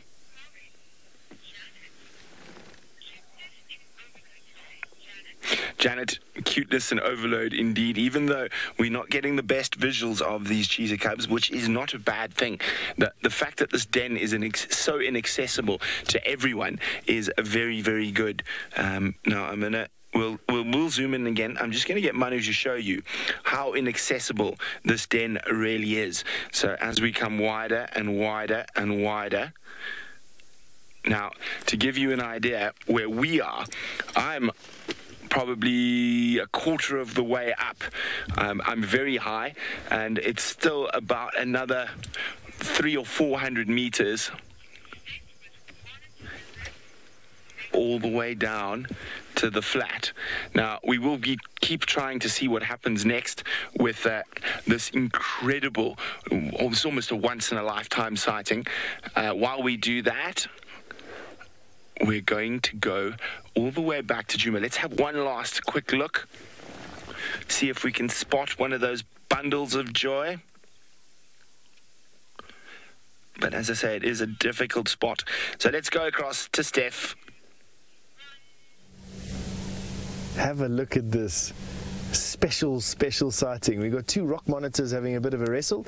The guy on top now is the male. He's trying to get the female into a position where he can mate with her. She's having none of it. She wants none, nothing to do with him. And isn't this weird? This is not the same pair that the leopard was hunting just now. This is a different pair, but in exactly the same area. Maybe about 50 yards or so apart.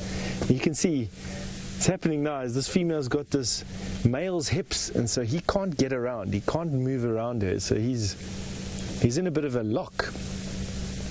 She's got him subdued. Uh, he's looking like he's overpowering her slowly but surely. She's lost her grip of his hips.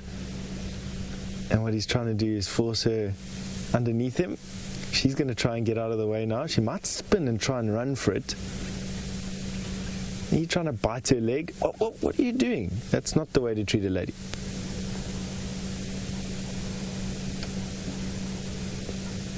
And she must bite him back. She's in the perfect spot. What are you doing? Well, that's dislocating your girlfriend's hip is not the best way to go about it. Stop that. Steffi, you said it looks complicated. It, it, absolutely is. He obviously isn't the best male around, and this female doesn't want anything to do with him. Or she's playing a little bit of hard to get, which is giving other males in the area the chance to come and usurp this guy. Eventually, what will happen is her body will tell her, "Look, this is no, no. What are you doing? That's not the way. Just because you're not getting your way doesn't mean you have to do that." Uh, she giving him some well, she'll give another bigger male the chance to usurp this one. What he needs to do is realize that biting a leg off, no, no, no, no, no.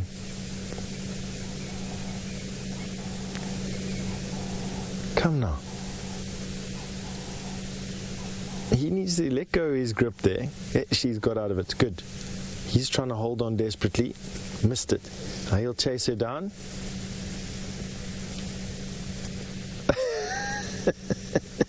and into that thick bush. Look at the elephant in the background. Sorry, uh, Louise, would you repeat uh, Dino's uh, Dino's question, please? yes, Dino, absolutely. Spring is in the air. Yeah, they've come out this side now in front of us. Let's see if the male catches him. Spring is definitely in the air. Absolutely, Dino. It looks like this female actually got away. No, he's still in tow. I'll come out of this bush now. There you can see him, tired. Tongue flicking out, looking for her. I think she's made good her escape, actually. Let's see what happens here when he catches up with her. Obviously, she won't be able to get too far. She's leaving a pheromone trail that he can follow using scent. No, he's lost her. He's going around in circles here.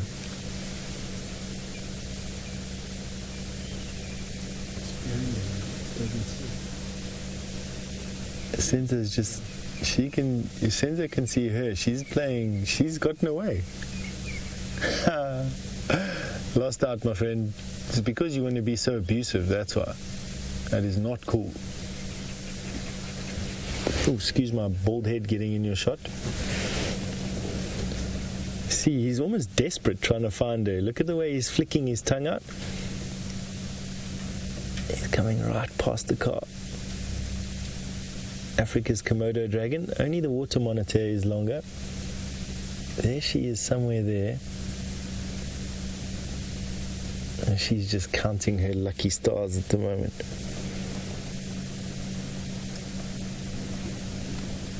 There he goes. He's going to backtrack, I think, from the last position.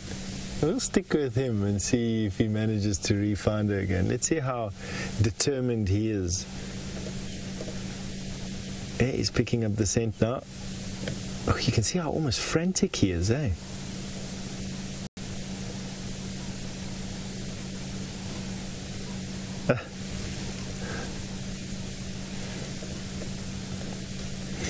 Becky, you'd like to know if these lizards are poisonous. Um, so they are related to the Komodo dragon, which has a saliva harboring a lot of bacteria. And that saliva, there goes the female there.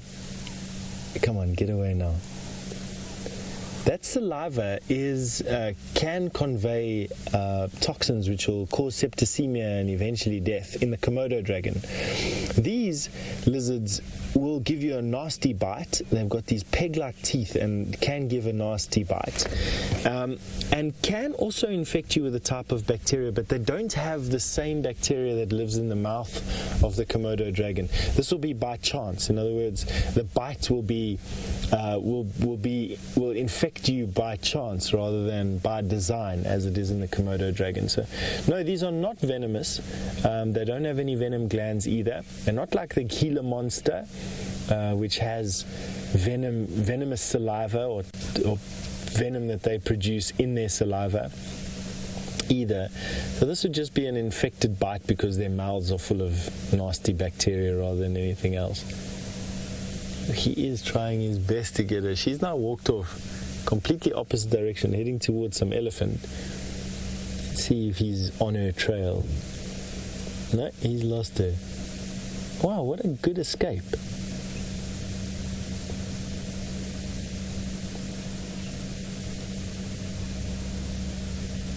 Look at him. that gait that they have is just so amazing. Like a big bodybuilder. Strutting his stuff and flexing his muscles.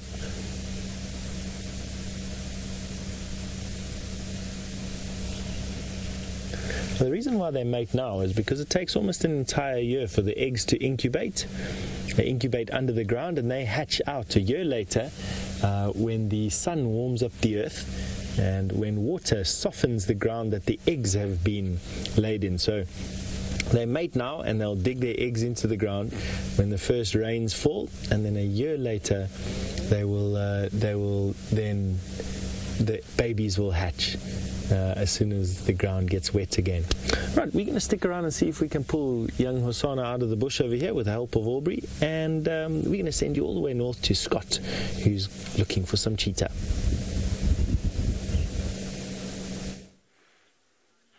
Well, we've temporarily stopped looking for cheetah because it's simply too beautiful not to show you the scene with zebra, wildebeest, one or two Thomson's gazelle dotted on the horizon. Absolutely marvelous. And it's been what sounds like an incredible drive. Some really interesting stuff's happened. And I must say, I'm a little bit jealous. Jealous. jelly babies of all the things you've seen. Jelly babies are a kind of sweet in South Africa. Um, so yeah, lots of interesting stuff going on, and now a beautiful, beautiful sunset scene. Also to the left, as Craig continues to pan to the left, you'll notice there's some rain falling from those clouds. And that rain is falling in Tanzania, and that is what is drawing these migrating herds back south. There you can see more clearly. So it's easy to understand that they get clear signals from Mother Nature as to where the grass is going to be greener. Look at that beautiful scene there. Marvelous. Now, we still have no idea where these five male cheetahs are that we're looking for. Hopefully, they are somewhere in this general area. We've got a hold of as many people as we can to try and work out where they are. Failing that, at least we can head out tomorrow morning with the knowledge that we know where Malaika and her two boys are. And hopefully, they'll be a little bit more hungry than they were this morning and we'll be able to see them in action. Let's take another little quick look at these zebra that are against the setting sun now that it's popped below the clouds. How cool is this?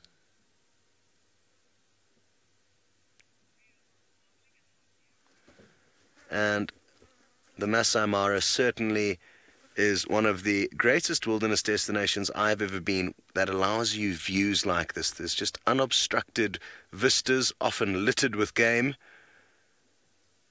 And this is just too good to be true. It's a dead still evening, slight, slight breeze, nice and cool. And a great privilege, privilege to be taking you guys out on a live safari and to be able to share moments like this with you. We are going to continue perusing though in the hope that we are going to find these cheetah. Even though the sun is setting, these five males have done a lot of the hunting after dark. So it's not to say we might not still catch them in a fortunate position to see them doing their business. Okay, well, you guys are going to head off back to James to get an update on how those cubs are getting along. See you later. Well, before we do the cubs, we're going to just have a look at the sun because it's very, very pretty indeed. Isn't that lovely? It's just disappearing over the horizon. There it is. Gorgeous stuff. Very nice, Fergus rain in the background that we have managed to avoid so far. Doesn't that make you feel good about the world? Certainly makes me feel good about the world that I've managed to avoid that rain. And we'll go back to the beautiful cubs. Unfortunately, they're not sitting in a position where we're going to be able to see the sun's rays catching them, unfortunately. There we are but we're just having a very pleasant afternoon enjoying them. One or two have found the excesses of the afternoon slightly too exhausting and they've started to close their eyes and go back to sleep. Mums have also sort of shut their eyes. I predict what is going to happen here is that they will wait for pretty much until it's pitch black before possibly going off on the hunt. But because the cubs are here, you might find they even wait longer than that and don't go on the hunt at all until much later. But we'll wait and see. I think it's much easier. It's been noticeably easier for the two lionesses since the third one arrived. They're all sharing the duties now. Also, the cubs are getting a little bit tired, and so they're starting to go to sleep. Look at that. Well, Steffi, you say what you'd give to see this in person. Well, of course, you have the choice to do that in person. If you uh, sell your left kidney or something on the black market, I'm sure you could uh, get enough to come through here. I'm obviously being deeply facetious right now. Um, but yeah, uh, Steffi, it is a bucket list thing for so many people, and many save for years and years to come out on a one time safari to Africa. Of course, it's not the cheapest holiday you can have, but it is. I mean, it is a once in a lifetime experience to come and see something like this live. But you've got the next best thing. You're watching it as it's happening, as it's unfolding right now in the Maasai Mara, and of course the hunting going on in the Kruger National Park, all completely live, which means it's just about the same as being here. Not quite, but just about.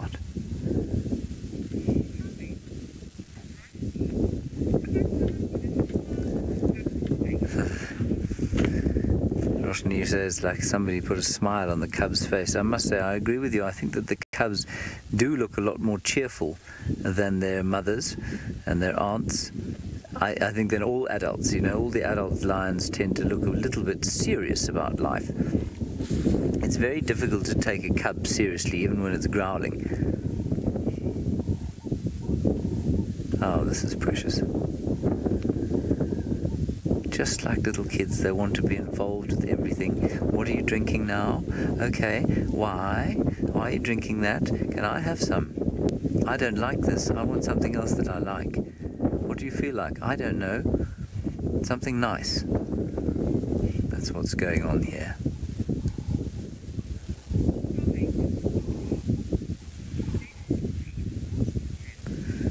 And Umko, you're absolutely right. These cubs completely adore their mother's tails. You say the world's best toy. Yes, absolutely. They do seem to be the source of the most fascination for all of these youngsters. There it is, with its little pom pom on the end of it. I loved pom poms as a kid as well.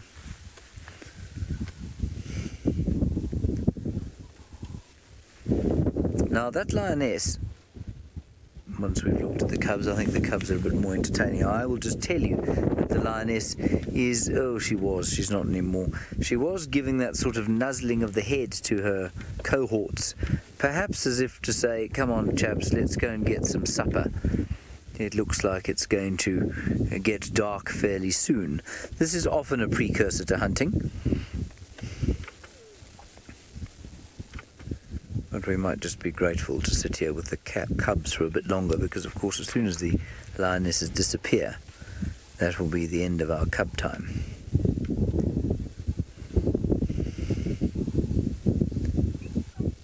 Very faintly in the background, I can hear the sounds of baby francolins calling their mums. It's a high pitched whistle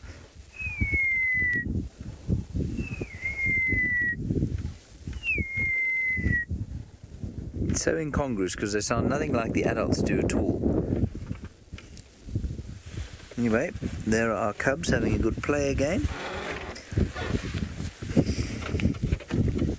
Thoroughly enjoying themselves, almost as much as we're enjoying them. I'm extremely grateful to have found these little things. It's been a very long time since I've spent this amount of time with little lion cubs. Here comes one stalking Fergus to the left. There we are. Then thought better of it.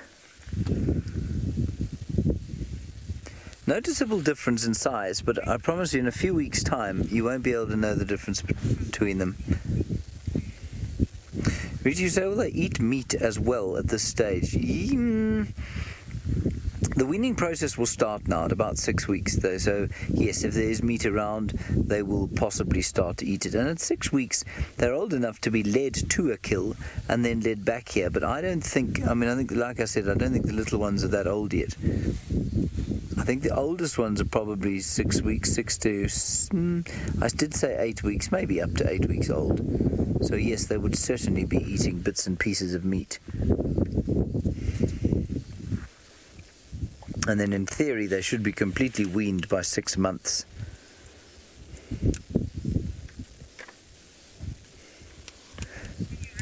Oh, look at that. Now, before it gets too dark, I'm going to hand you back to Brent and his honey badger cubs. Well, they look like honey badgers, don't they? In the long grass, and hopefully they'll move around a bit as it gets a bit darker.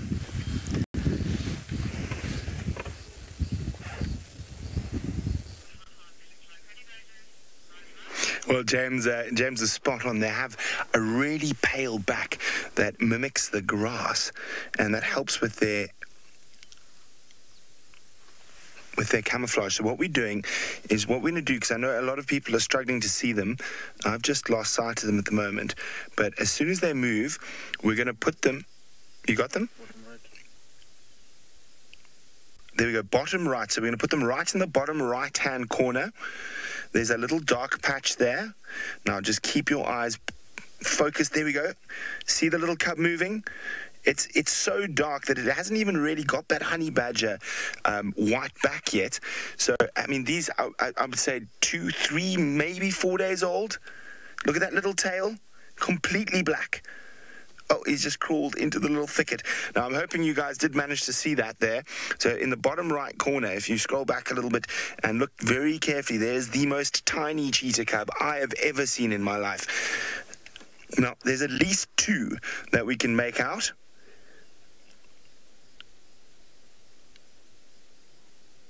Mom is sleeping in there. Now, I'm pretty sure Mom is going to be here for the whole night, and we're not going to hang around too long. Um, we are going to give her the opportunity. Look, oh, there's movement there, bottom right again. And looks like the second cub. So there's at least two that we can make out. There we go. Look, look, look. Look at that. So tiny. It's so tiny.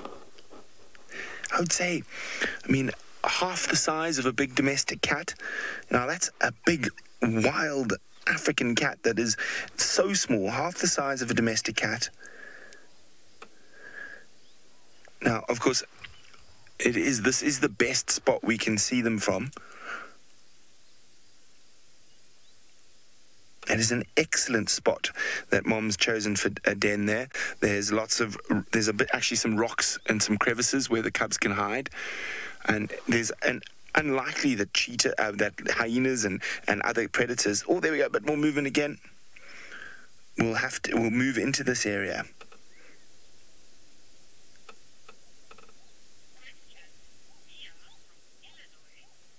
Look, look, look, look. Look how small it is. Look how small it is. It can barely walk. Look at it. Oh, it fell over. Oh, my goodness. Bottom right hand corner, guys, if you're wondering what I'm looking at. There we go. There's another one on the way. Uh, Mia from Illinois is wondering, is that site not uh, it will keep them dry. Most definitely, the rain will, will, will tumble through there. And as I said, there's lots of rocks and crevices that they can hide in. Oh my goodness, they are tiny. They, they, they, I think their eyes still might be closed. They, they, they're stumbling over. They can't walk. They're groping around by feel. There we go. There's movement again. Look, look, you can see the white back that James was talking about. The same color as the grass. This is absolutely amazing. Now, I've only ever found cubs younger than this once before in my whole life, and that was, of course, Hosana and Shongile. Oh, look at it, he's crawling back. Or she, I can't, definitely can't tell. They are minute.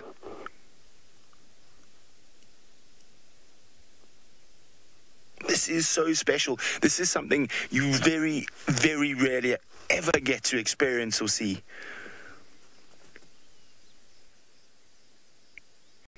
Often, when you find cubs, they're normally a month old and six weeks old, but to find them at this age, days, mere days old.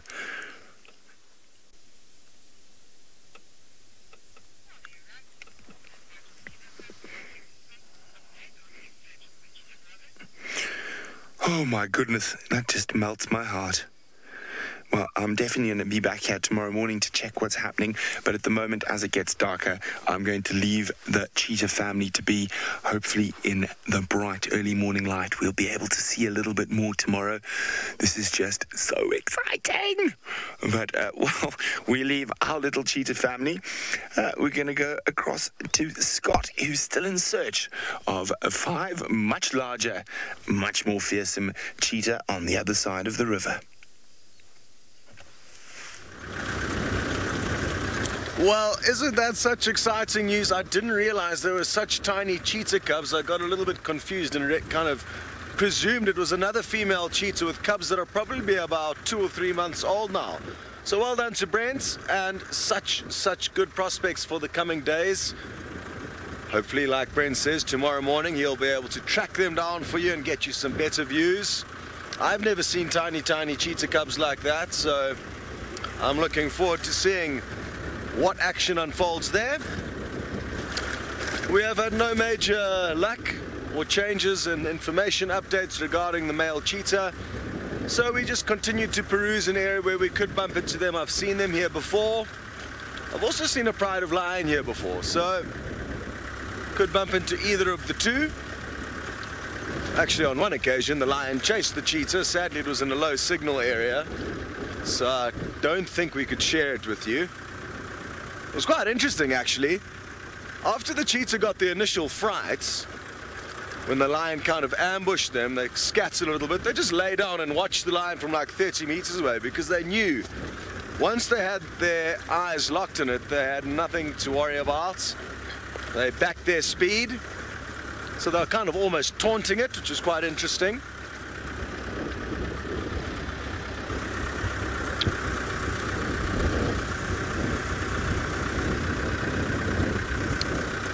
So the plan is just for the for you guys to know for the next few days is that Craig and I will be staying here for three nights, this being the first of the three.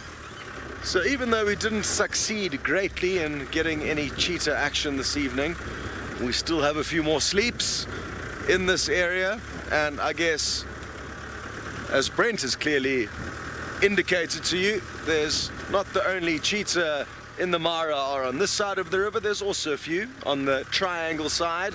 And just to give those of you who don't know exactly how the Mara Reserve works, a quick overview.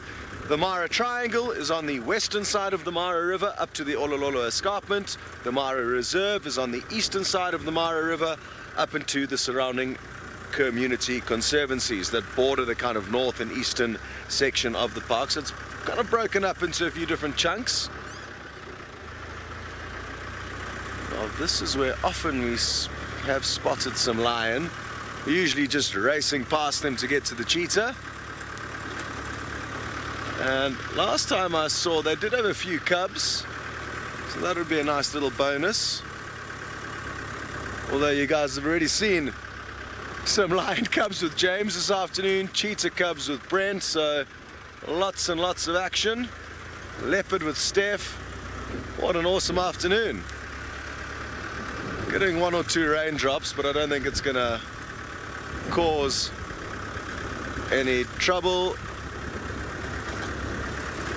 So we should be able to continue unaffected.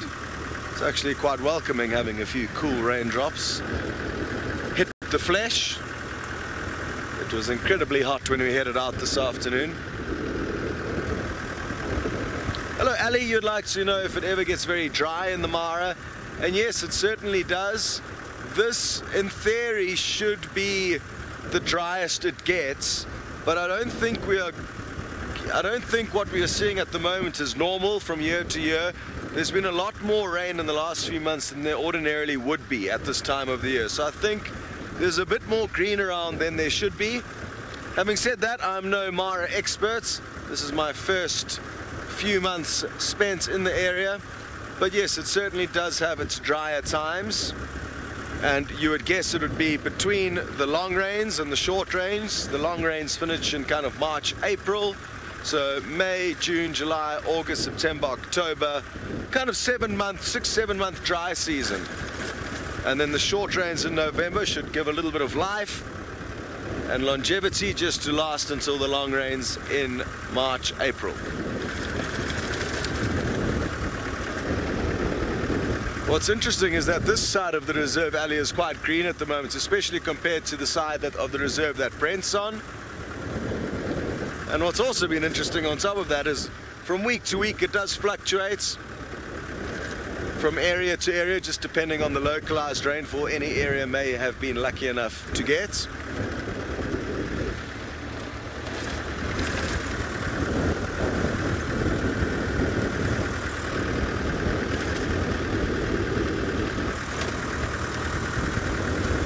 Come on, lions or cheetah or leopard or anything.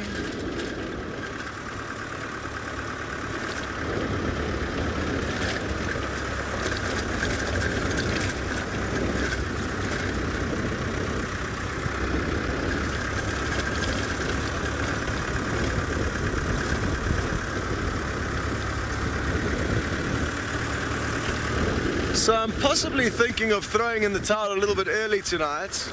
Um, with the planning that we head out first thing tomorrow morning, a little bit earlier than normal, to try and start foraging for action. And seeing as though James, Brent, and Steph are all out, I'm sure they'll be able to continue to show you a good time. So that's also one of my plans, possibly to get an early night. Oh, a raindrop just hit me right below the eye, quite a big one. Ding!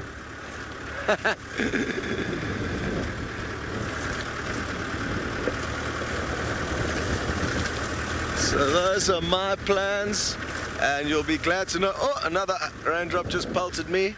Can you see it there? Right below the eye. It was quite a good shot from Mother Nature. You see it? Not really. Not really. Anyway, what you can see now is some tiny, cute little lion cubs under the glow of an infrared light with James. Well, we're not quite in infrared just yet, uh, but we certainly are going to have to be fairly soon. I'm hoping the rain will avoid us. I did stupidly tempt it by saying earlier, this is the first time we've ever escaped the rain. And I think that, uh, well, the universe is going to spit upon me literally and, of course, figuratively. As we sit here watching our little lion cubs, everything has calmed down here. Everyone is calm and wanting to have a little bit of a snooze after the excesses of the day.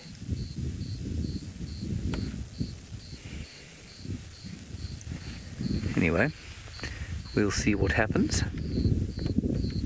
while we sit here. The mother's showing no signs of going hunting at this stage. And I'm I'm quite interested by that. I, I, would have thought by now they were showing signs, they would have been showing signs of getting up. We've got quite a full moon tonight, it's about three quarters. And that won't be good for them hunting. They prefer the full darkness. And I haven't seen hide nor hair of anything they could hunt around this area. Also, what's interesting, of course, is that these cubs are so little at the moment that they can't even make that kind of um, that growling sound that they make. They can only sort of squeak like little birds. Now, what we're doing now with it getting this dark is quite special for us because of the IR that we have. Often, in fact, normally we'd have to leave them by now. And then a question from Cheese Potato. Yes, Cheese Potato. Uh, you. Cheese Potato, you want to know if lion cubs uh, will be attacked by other animals? Yes, they'll be killed by hyenas, leopards will take them, wild dogs would kill them if they could, uh, big eagles would take them if they could as well. So, absolutely, things will try and take uh, a lion cub if they can. So, largely, of course, the predators will do it in order to try and avoid competition. That lioness is hungry and she spotted something. I cannot see what it is. Maybe she's picked something up on the wind. She's turned her face into the wind. She certainly looks like Something is up.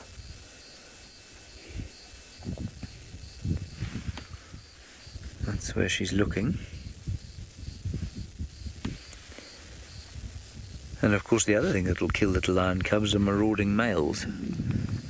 I don't think there are many of those around here. And this is generally how it goes when they get up. They get up and you think, oh, here we go, and then sit down again and have another just 20 minutes or so of sleep, and then get up and then move around, oh, and then have a little sleep. Sorry, I'm having trouble with the connection. My phone is talking to me. I'm sorry, everybody. Every so often, it gets a bee in its bonnet and decides to have a conversation with me. That was Siri. Um, sorry, can we have that again from Bev, please?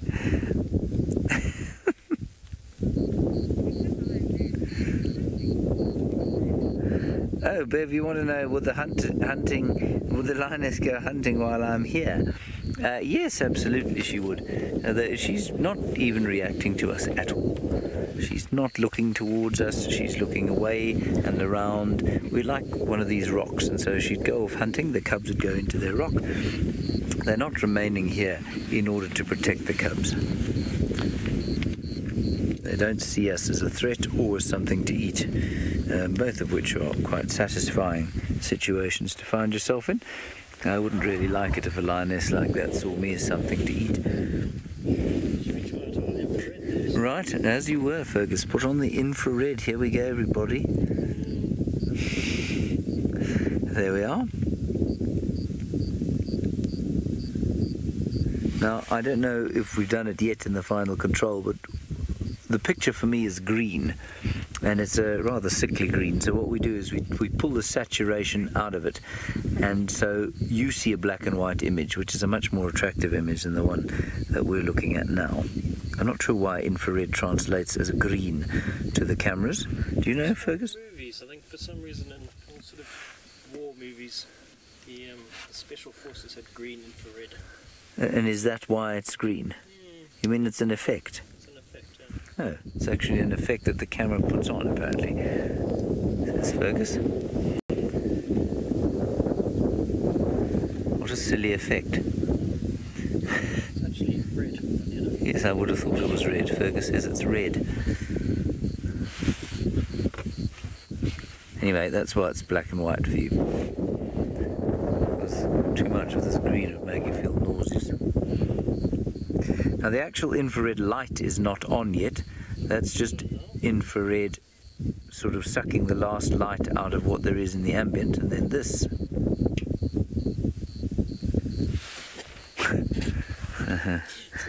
and then uh, uh, uh, this. No, we've got a loose connection here we'll have to sort out. it was almost so perfectly worked out, Fergus.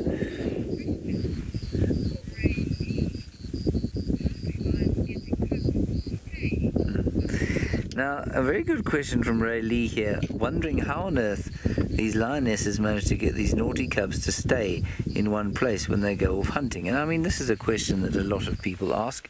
It's not necessarily a very easy one to answer because no one really knows. When they're this little, I don't think it's that hard. When they're this small, um, they tend to they just go, you know, as soon as the mothers move too far away from comfort, they give them a little growl or something like that, and then they'll disappear down into the hole that they live in.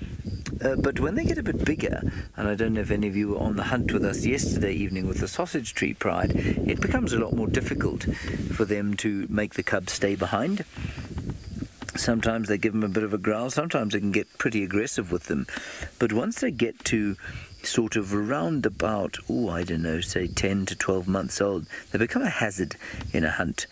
And they're much more difficult, I think, to, to discipline into staying behind. But I suspect there's some kind of body language or signal that they give the cubs, and the cubs kind of understand it. Yeah, the lioness is one of them is certainly starting to look a bit restless. Fergus, do we need to fix that thing or? Oops. Oh, here we go. What have we got going on here? This looks quite interesting. Sorry, that's my hat, everyone. I'm just going to duck out the way.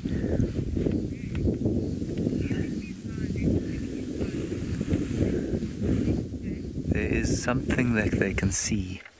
Ferg, how much is that light going to come on or not? You think we're right still? James, you're wondering if they'll use these rocks to hunt from and around. Absolutely, they will. They'll use a vehicle sometimes. They'll use whatever cover they can, especially in an area like this. Now, there's a bush directly in front of what we are trying to look at. So I can't see what she can see behind that bush. Two of them are looking now. I'm just going to try, excuse the ruffling and rustling. I'm just going to try and get my spotlight out. Uh, we're just going to head back across to Scott while we fix our infrared light, and we'll be back with you shortly.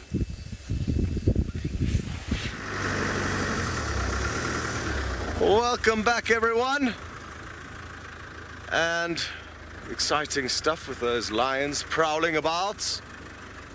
Our spotlight bulb just blew. Don't work no more. So I guess it's a sign that our decision to pack it in a little bit earlier was a good one because without a spotlight it'll be a little bit tricky to find things. And why don't we just stop here and show you some silhouettes of this beautiful big giraffe who you can see dotted on the horizon over there. Tricky. I'm used to the other camera that we no longer have, sadly. That would have done a great job now. But the little ones we've got are better suited for the day. For, uh, Craig's just switched over onto the infrared so we can see him a little bit better. Marvelous. Well, off we go. And I hope you guys continue to have a wonderful safari for the last few minutes. We're only a kilometer or so away from what is called the Talek Gate. There are multiple gates that you can enter the reserve from. And we are staying at a beautiful little camp called Old Shaiki, just upstream from the gate, outside of the reserve, but the Talek River is the border from the gate further to the east. So we look out across the Talek River into the reserve and it's a wonderfully situated camp, lots of big fig trees, quite a different feeling and atmosphere to our camp, which is hugely different, situated up on the escarpment. Both have their perks, I guess, like anything in life. The views from our camp are quite spectacular, as are the little riverine forests and gullies and valleys that flow down from the escarpment into the reserve. A great place for us to explore while we're doing our little runs and exercise.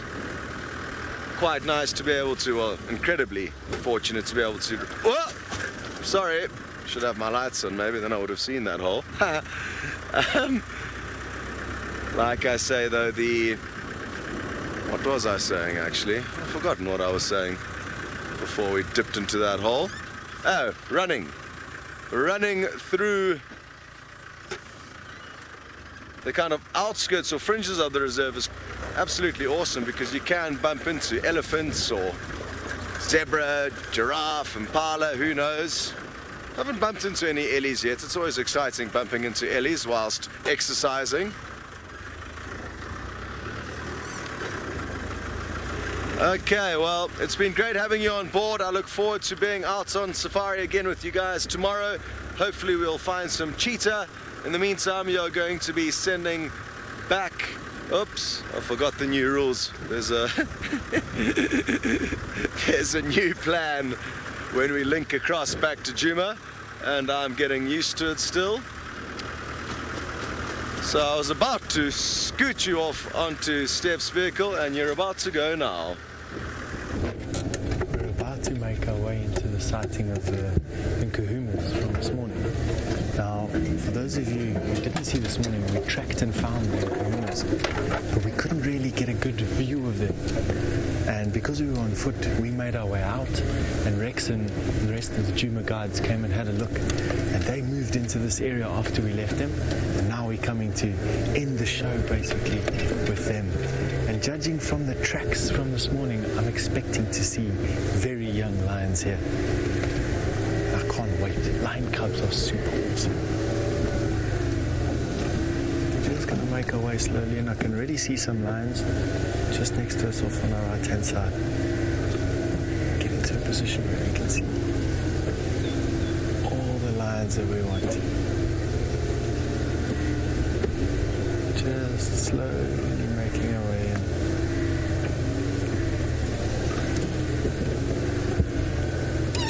Hello everybody.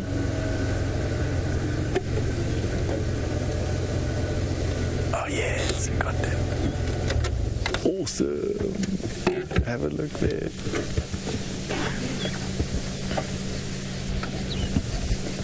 Brand spanking new lion cubs.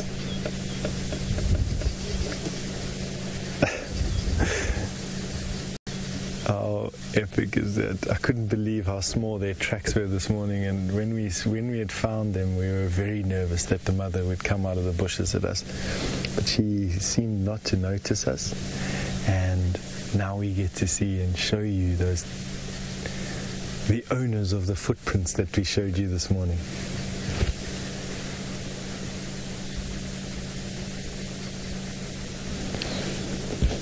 Excuse my voice coming through a little bit muffled there. It's uh, me just getting excited and not realizing where my microphone was. Now look at them playing, they've got a tail in the mouth. Oh, cute. now those lion cubs are about as big as teddy bears at the moment. They are tiny. They they soccer ball size. Couple of weeks old, just been introduced to the pride, so anywhere from about six to about ten weeks old. That's how old these guys are. Um, I'm not actually sure if we've seen them before on the show. Uh, Senzo's telling me we have seen them before, so they're probably a little bit older than that. I definitely haven't seen them. And the lovely thing about seeing little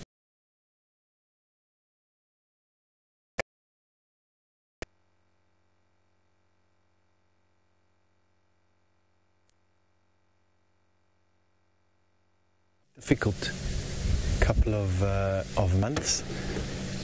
Went from a pride takeover where their cubs were killed to uh, oh, this lioness is quite badly injured. Wow.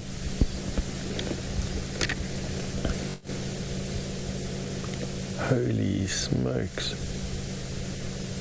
Since I've just go onto this lioness here with a damaged hip. Have we seen this before? Have a look at that massive injury.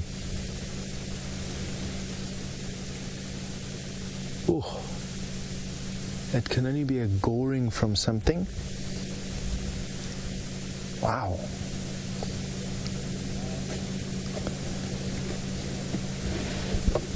Senzo, have we seen this lioness's injury before?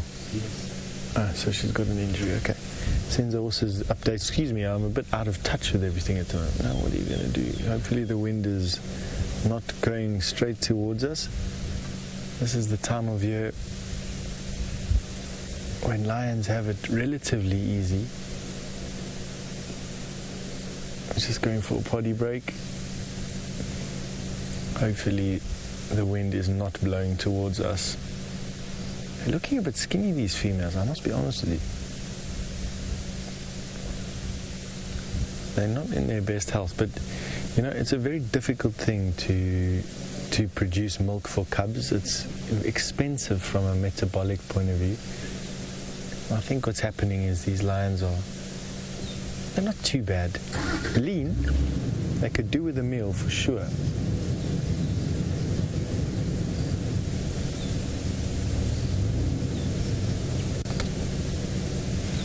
and it's just it's lovely to see. These females have had it hard. I mean since we started i must be honest with you that it's been this pride has taken a bashing. And uh, it is actually quite nice to see.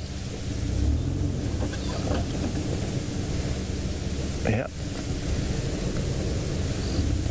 I'm glad everyone's saying that you're all excited to see the Nkuhuma pride. She's blind in that eye as well.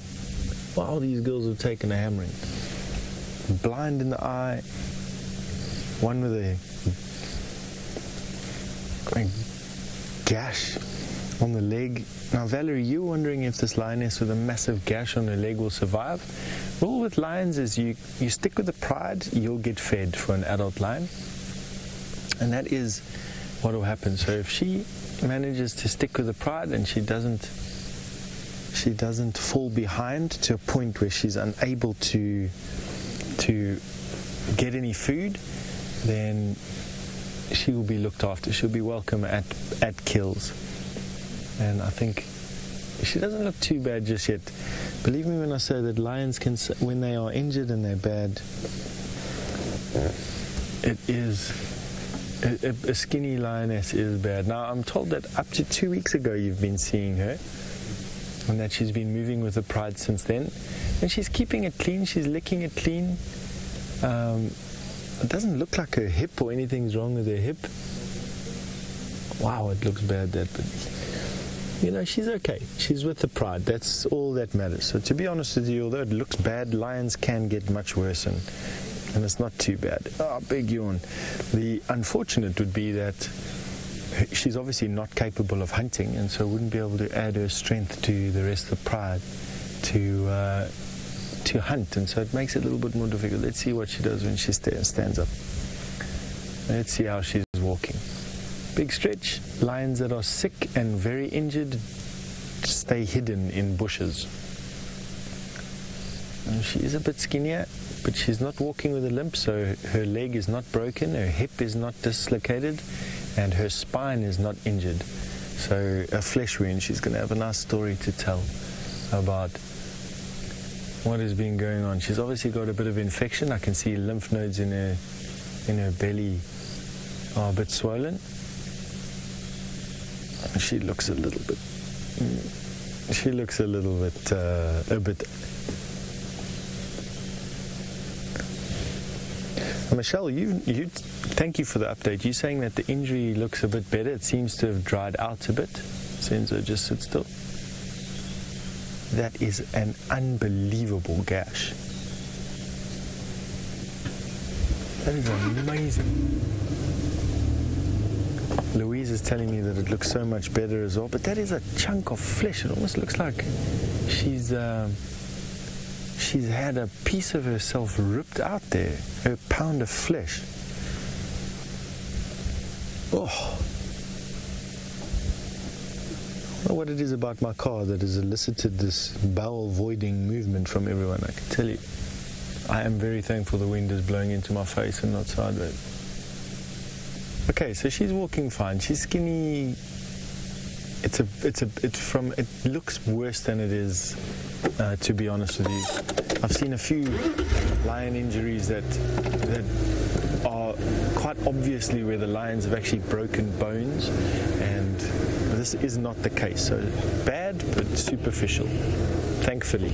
And if she can keep herself from too bad a septicemia, it uh, it won't be too much of a problem either. Ah, there's another one of those little teddy bear cubs. Isn't that very cute? Oh, they are epic at this age, aren't they? This is the time of night when these ladies will start to hunt. And um, they are hungry. I think testimony to the fact that we found the young males on the termite mound yesterday. I think it is absolutely the fact that these lioness are not starving, but they're needing to cover some distance to kill something. And with no buffalo around, opportunity to hunt what they need to hunt. So, what are they going to hunt? They hunt zebra, wildebeest, kudu, young giraffe, buffalo,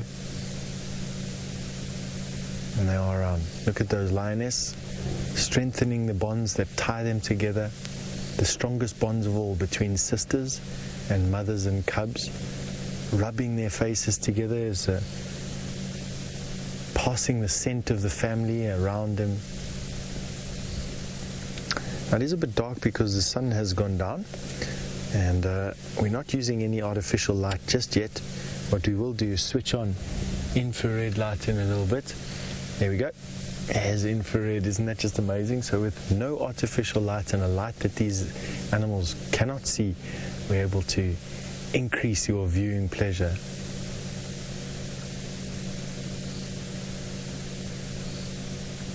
all of them awake now lying together and licking each other clean. It's called allogrooming. And these little cubs also just playing with each other. They, their teeth buds are itchy, hence the stick chewing. And it also helps to develop those very strong jaw muscles that'll one day be able to clamp the air way shut of a large prey item, dispatching it quickly and quietly.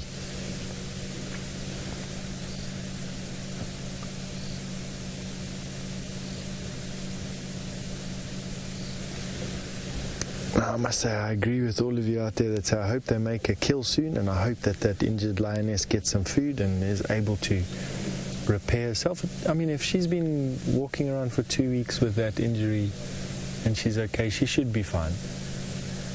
It is going to take a bit of time to heal, and I think it's going to leave a nasty scar.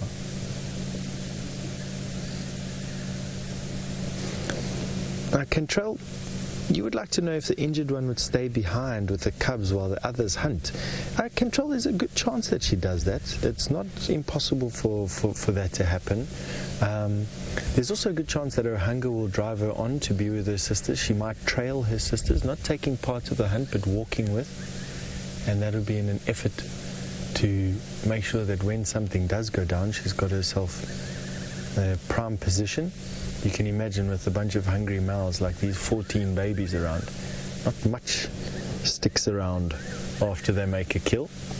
And with no buffalo around at the moment, limited to things like kudu, wildebeest, odd bushbuck and impala.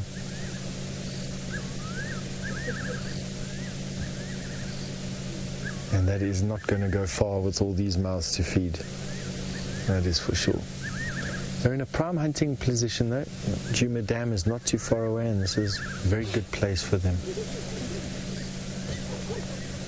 Dina, you'd like to know if other lionesses will help to gr groom and clean her wound? Yes, they absolutely will will do. She'll take the lion's share uh, of cleaning, but they will come and groom her and keep the worst of the flower maggots and larvae and dead tissue away. Um, she might get a, you know, have a bit of an angry response to her, but or to to you know help, but she's in a good space. She's with her sisters and her cousins and her mom potentially, if her mom's still alive, and in this pride. And they all look after one another. And then all these cubs just can't help but lick one another. They just. It is the absolute difference to the leopard we were viewing a little bit earlier. These are highly social contact species.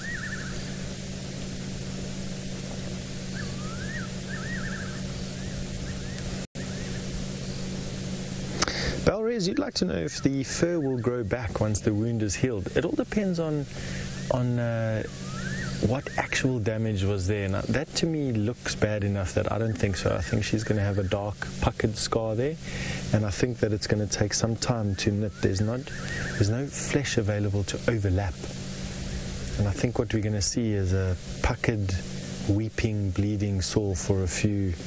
For a few uh, a few months to come, possibly even as long as a year before this is fully healed uh, and it might never close. She might keep it open uh, for a long time. It's going to be interesting to see how she makes her recovery. I doubt that she will die, um, but septicemia.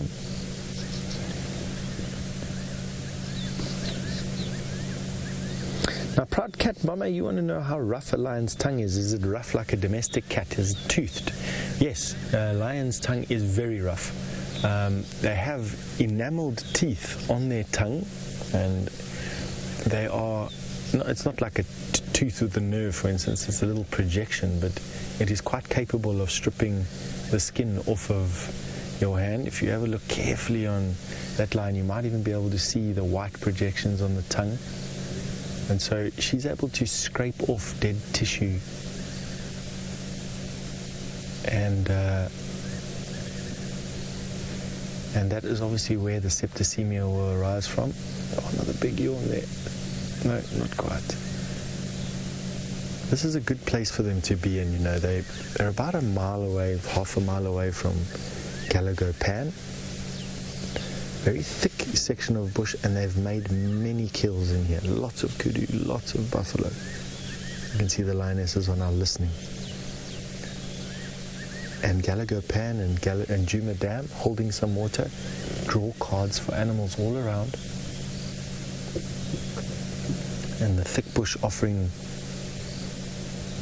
some protection and let's hold thumbs that this area delivers for them in the next couple of hours.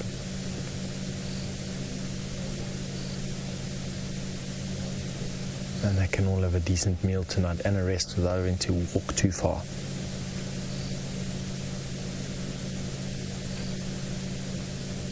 Beautiful sighting.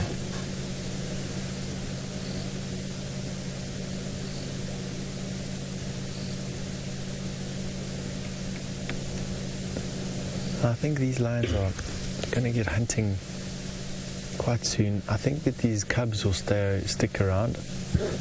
Let's just see. Where they're deciding to walk now, there's virtually no way we can get a car through there without a helicopter blade.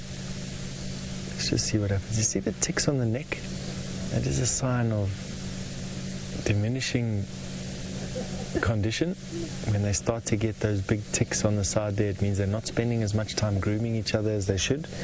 And a tick infested neck is a sure sign of lions that are battling a little bit. It's not uncommon though, so nobody panic. Um, 14 mouths to feed between four and a half lioness is a difficult task. It's not easy, especially not in the Sabi sands.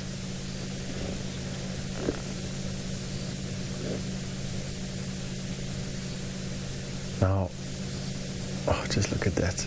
Now, from one set of lion cubs, why don't we send you all the way up to the Mara in Kenya, where James has some lion cubs of his own.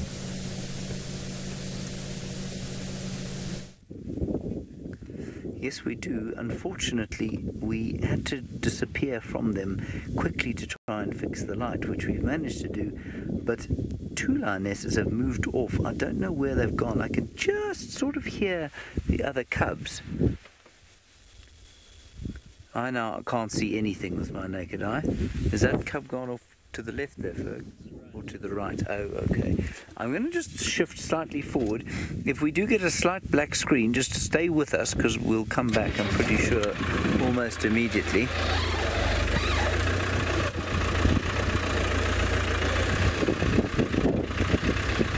How's that?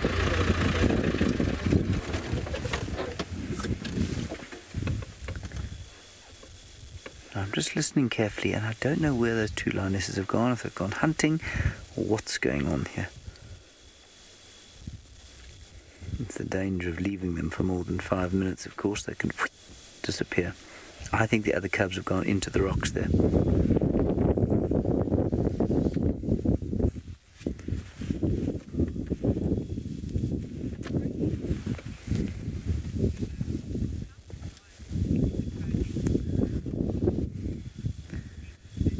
Debbie, you're wondering about the coalition that fathered these cubs and how many lions there are in that coalition. I don't actually know. I think, if I'm not mistaken, there are two, the Black Rock males. And I think there are just two males in that coalition, one of them quite badly damaged and old, and the other I'm not sure about. But you know, we're so far east here that we have not spent a huge amount of time in this part of the world. We will do more and more now that the migration has disappeared and uh, as we discover the wonders of this particular area. But I'm not actually sure about the Black Rock males, I'm afraid. Apparently he does come around here, the, the old boy with the missing eye and the sort of scuffed mane by all accounts, nowhere near the Ryan Gosling of the lion world.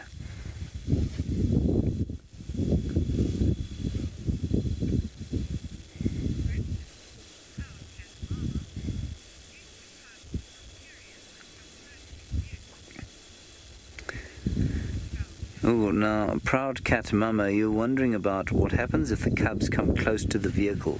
What will the lioness do? Uh, will she scold them? No, most likely she'll get cross with us. And that's uh, something that we need to be always constantly careful of, especially if you're on foot. Now, of course, Steph was tracking those lions that he's now found again in the vehicle on foot today. And your danger is if the cubs approach you, the lioness will take offense at you. And that, that can be, because the cubs can be extremely inquisitive and they can walk up out of their hidey hole and come towards you, and then you need to extract very fast.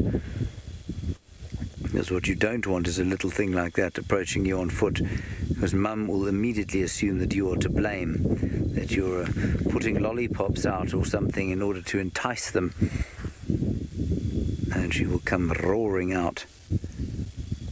And they say hell hath no fury like a woman scorned. Well, I've got to tell you, hell hath no fury like a lioness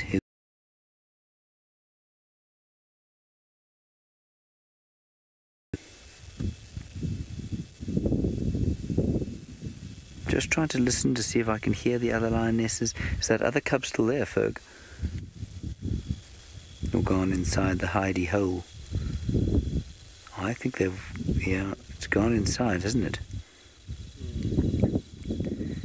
We might have to do a little loop around. I mean, we might mate with them for a little while, maybe till the end of the show, and then we'll see if we can't find the other lions and see if they aren't on the hunt. Little thing looks like it's thinking about having a stalk. It's looking towards where the others went. I can hear one calling now.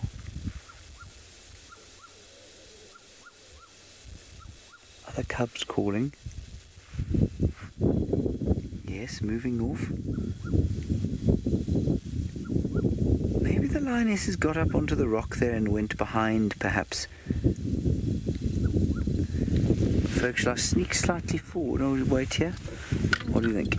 Let's go slightly forward, everyone. If you do go a little bit black screen, don't worry, it'll come back as soon as I stop moving.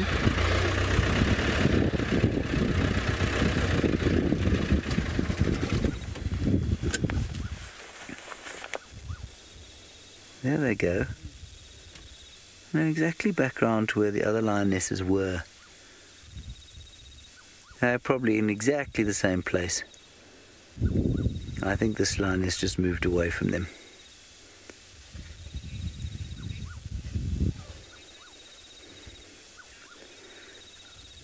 Look how naughty.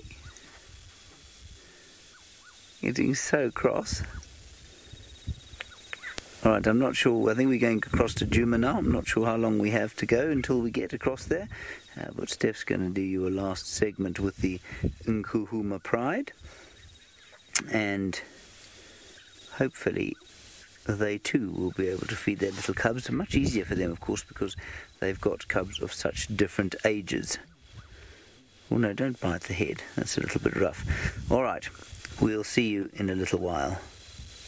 Right, everyone, we have left the sighting of the Zinkuhumas and it's getting a little bit dark. The, I think the adults were, wanting to make a move off to go and hunt and they need all the help that they can get. They don't need a big stinky car around and us talking around to make life even more difficult for them. So we've made our way out, as did Andrew, and we've now closed that particular sighting uh, for the rest of the evening until tomorrow. So no one else will be going through there at all. And this whole area will be left alone and for their own uh, hunting pleasure. And I'm hoping they get some. There were some tracks of wildebeest on quarantine uh, this morning, and I'm hoping that they'll listen and hear what's going on. There's also the good chance of some buffalo coming on to uh, coming to Djuma Dam tonight. So for those who have access to the dam cam, keep your eyes open. Uh, I think you're going to be spoilt by um, some lions coming down to drink and little bundles of fur following them. I don't really have a plan for the rest of this evening. I think we'll see if we can find something by spotlight in the few minutes left. What we can possibly do is find a bush baby for you, which is a good idea. So let me get my spotlight out, see if I can find it. There we go. And see if I can find bush baby for you or something else interesting. I'd prefer to show you a golden brown baboon spider, but a bush baby would do. Been a pretty crack of a drive. I must be awesome. I mean, I must be honest with you. It's been jam packed with a bunch of stuff. I mean, there was a stage there I didn't know what to look at between the leopard, the lion, the, I mean, the leopard, the elephant, and the and the uh, the monitor lizards. There was a lot on offer, and then I heard Amara was dishing out lion and cheetah and uh, and zebra kills. Scrub here.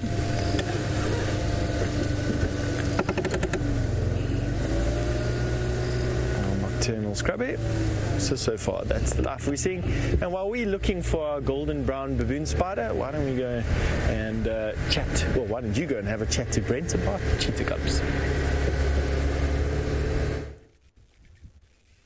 Well, welcome back, everyone. So we're on our last night of our low light camera. You can see that giraffe disappearing into the distance. Now, very, very exciting. And I know the visuals of those cheetah cubs were, were not the greatest, but what it does mean for us is right on our doorstep, right next to home, is we've got a female cheetah and at least two cubs. There might be one or two more. And she is going to be there every day, up and down along the escarpment. So we're going to have lots of access, and this is very exciting.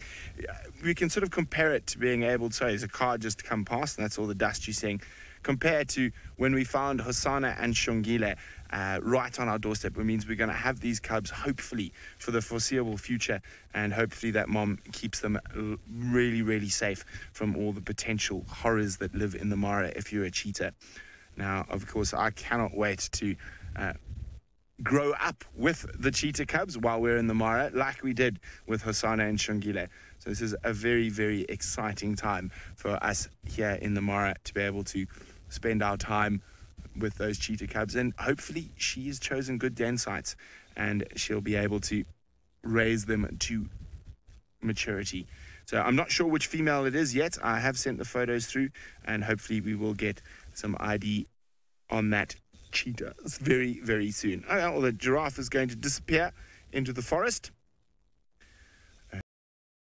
Tomorrow morning, first thing, we'll be back in that area. Try get a positive ID on the female, and uh, or maybe we'll get a slightly better glimpse of those cubs in tomorrow morning's early golden light.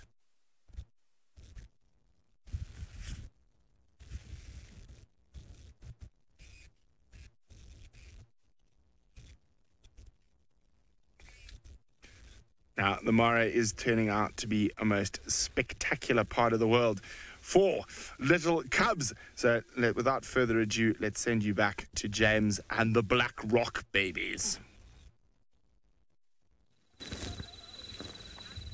Here they are, all many of them, and I must just say before we enjoy the sighting in its entirety, I must confess, I think that the cheetah mother uh, of the two cubs that you've been looking at today is the same female we saw yesterday. I would find it highly unlikely if it wasn't.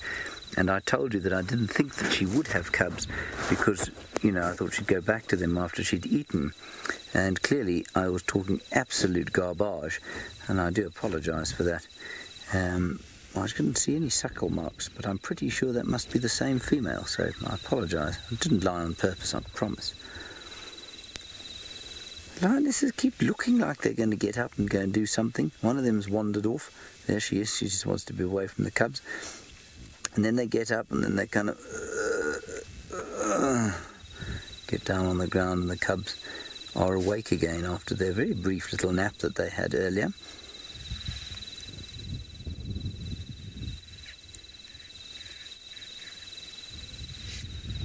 And they're, of course, completely oblivious to the light that we're shining on them. And of course, unlike the Sabi Sand, uh, no one can close the sighting to us. So we have a ranger with us whose name is John. And John sitting with us. And so we basically can leave them for as long as we'd like to, which is fantastic.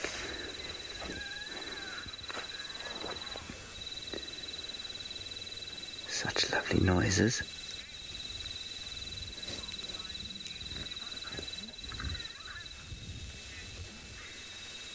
Snazzy, you're wondering? I'm just going to listen for quickly.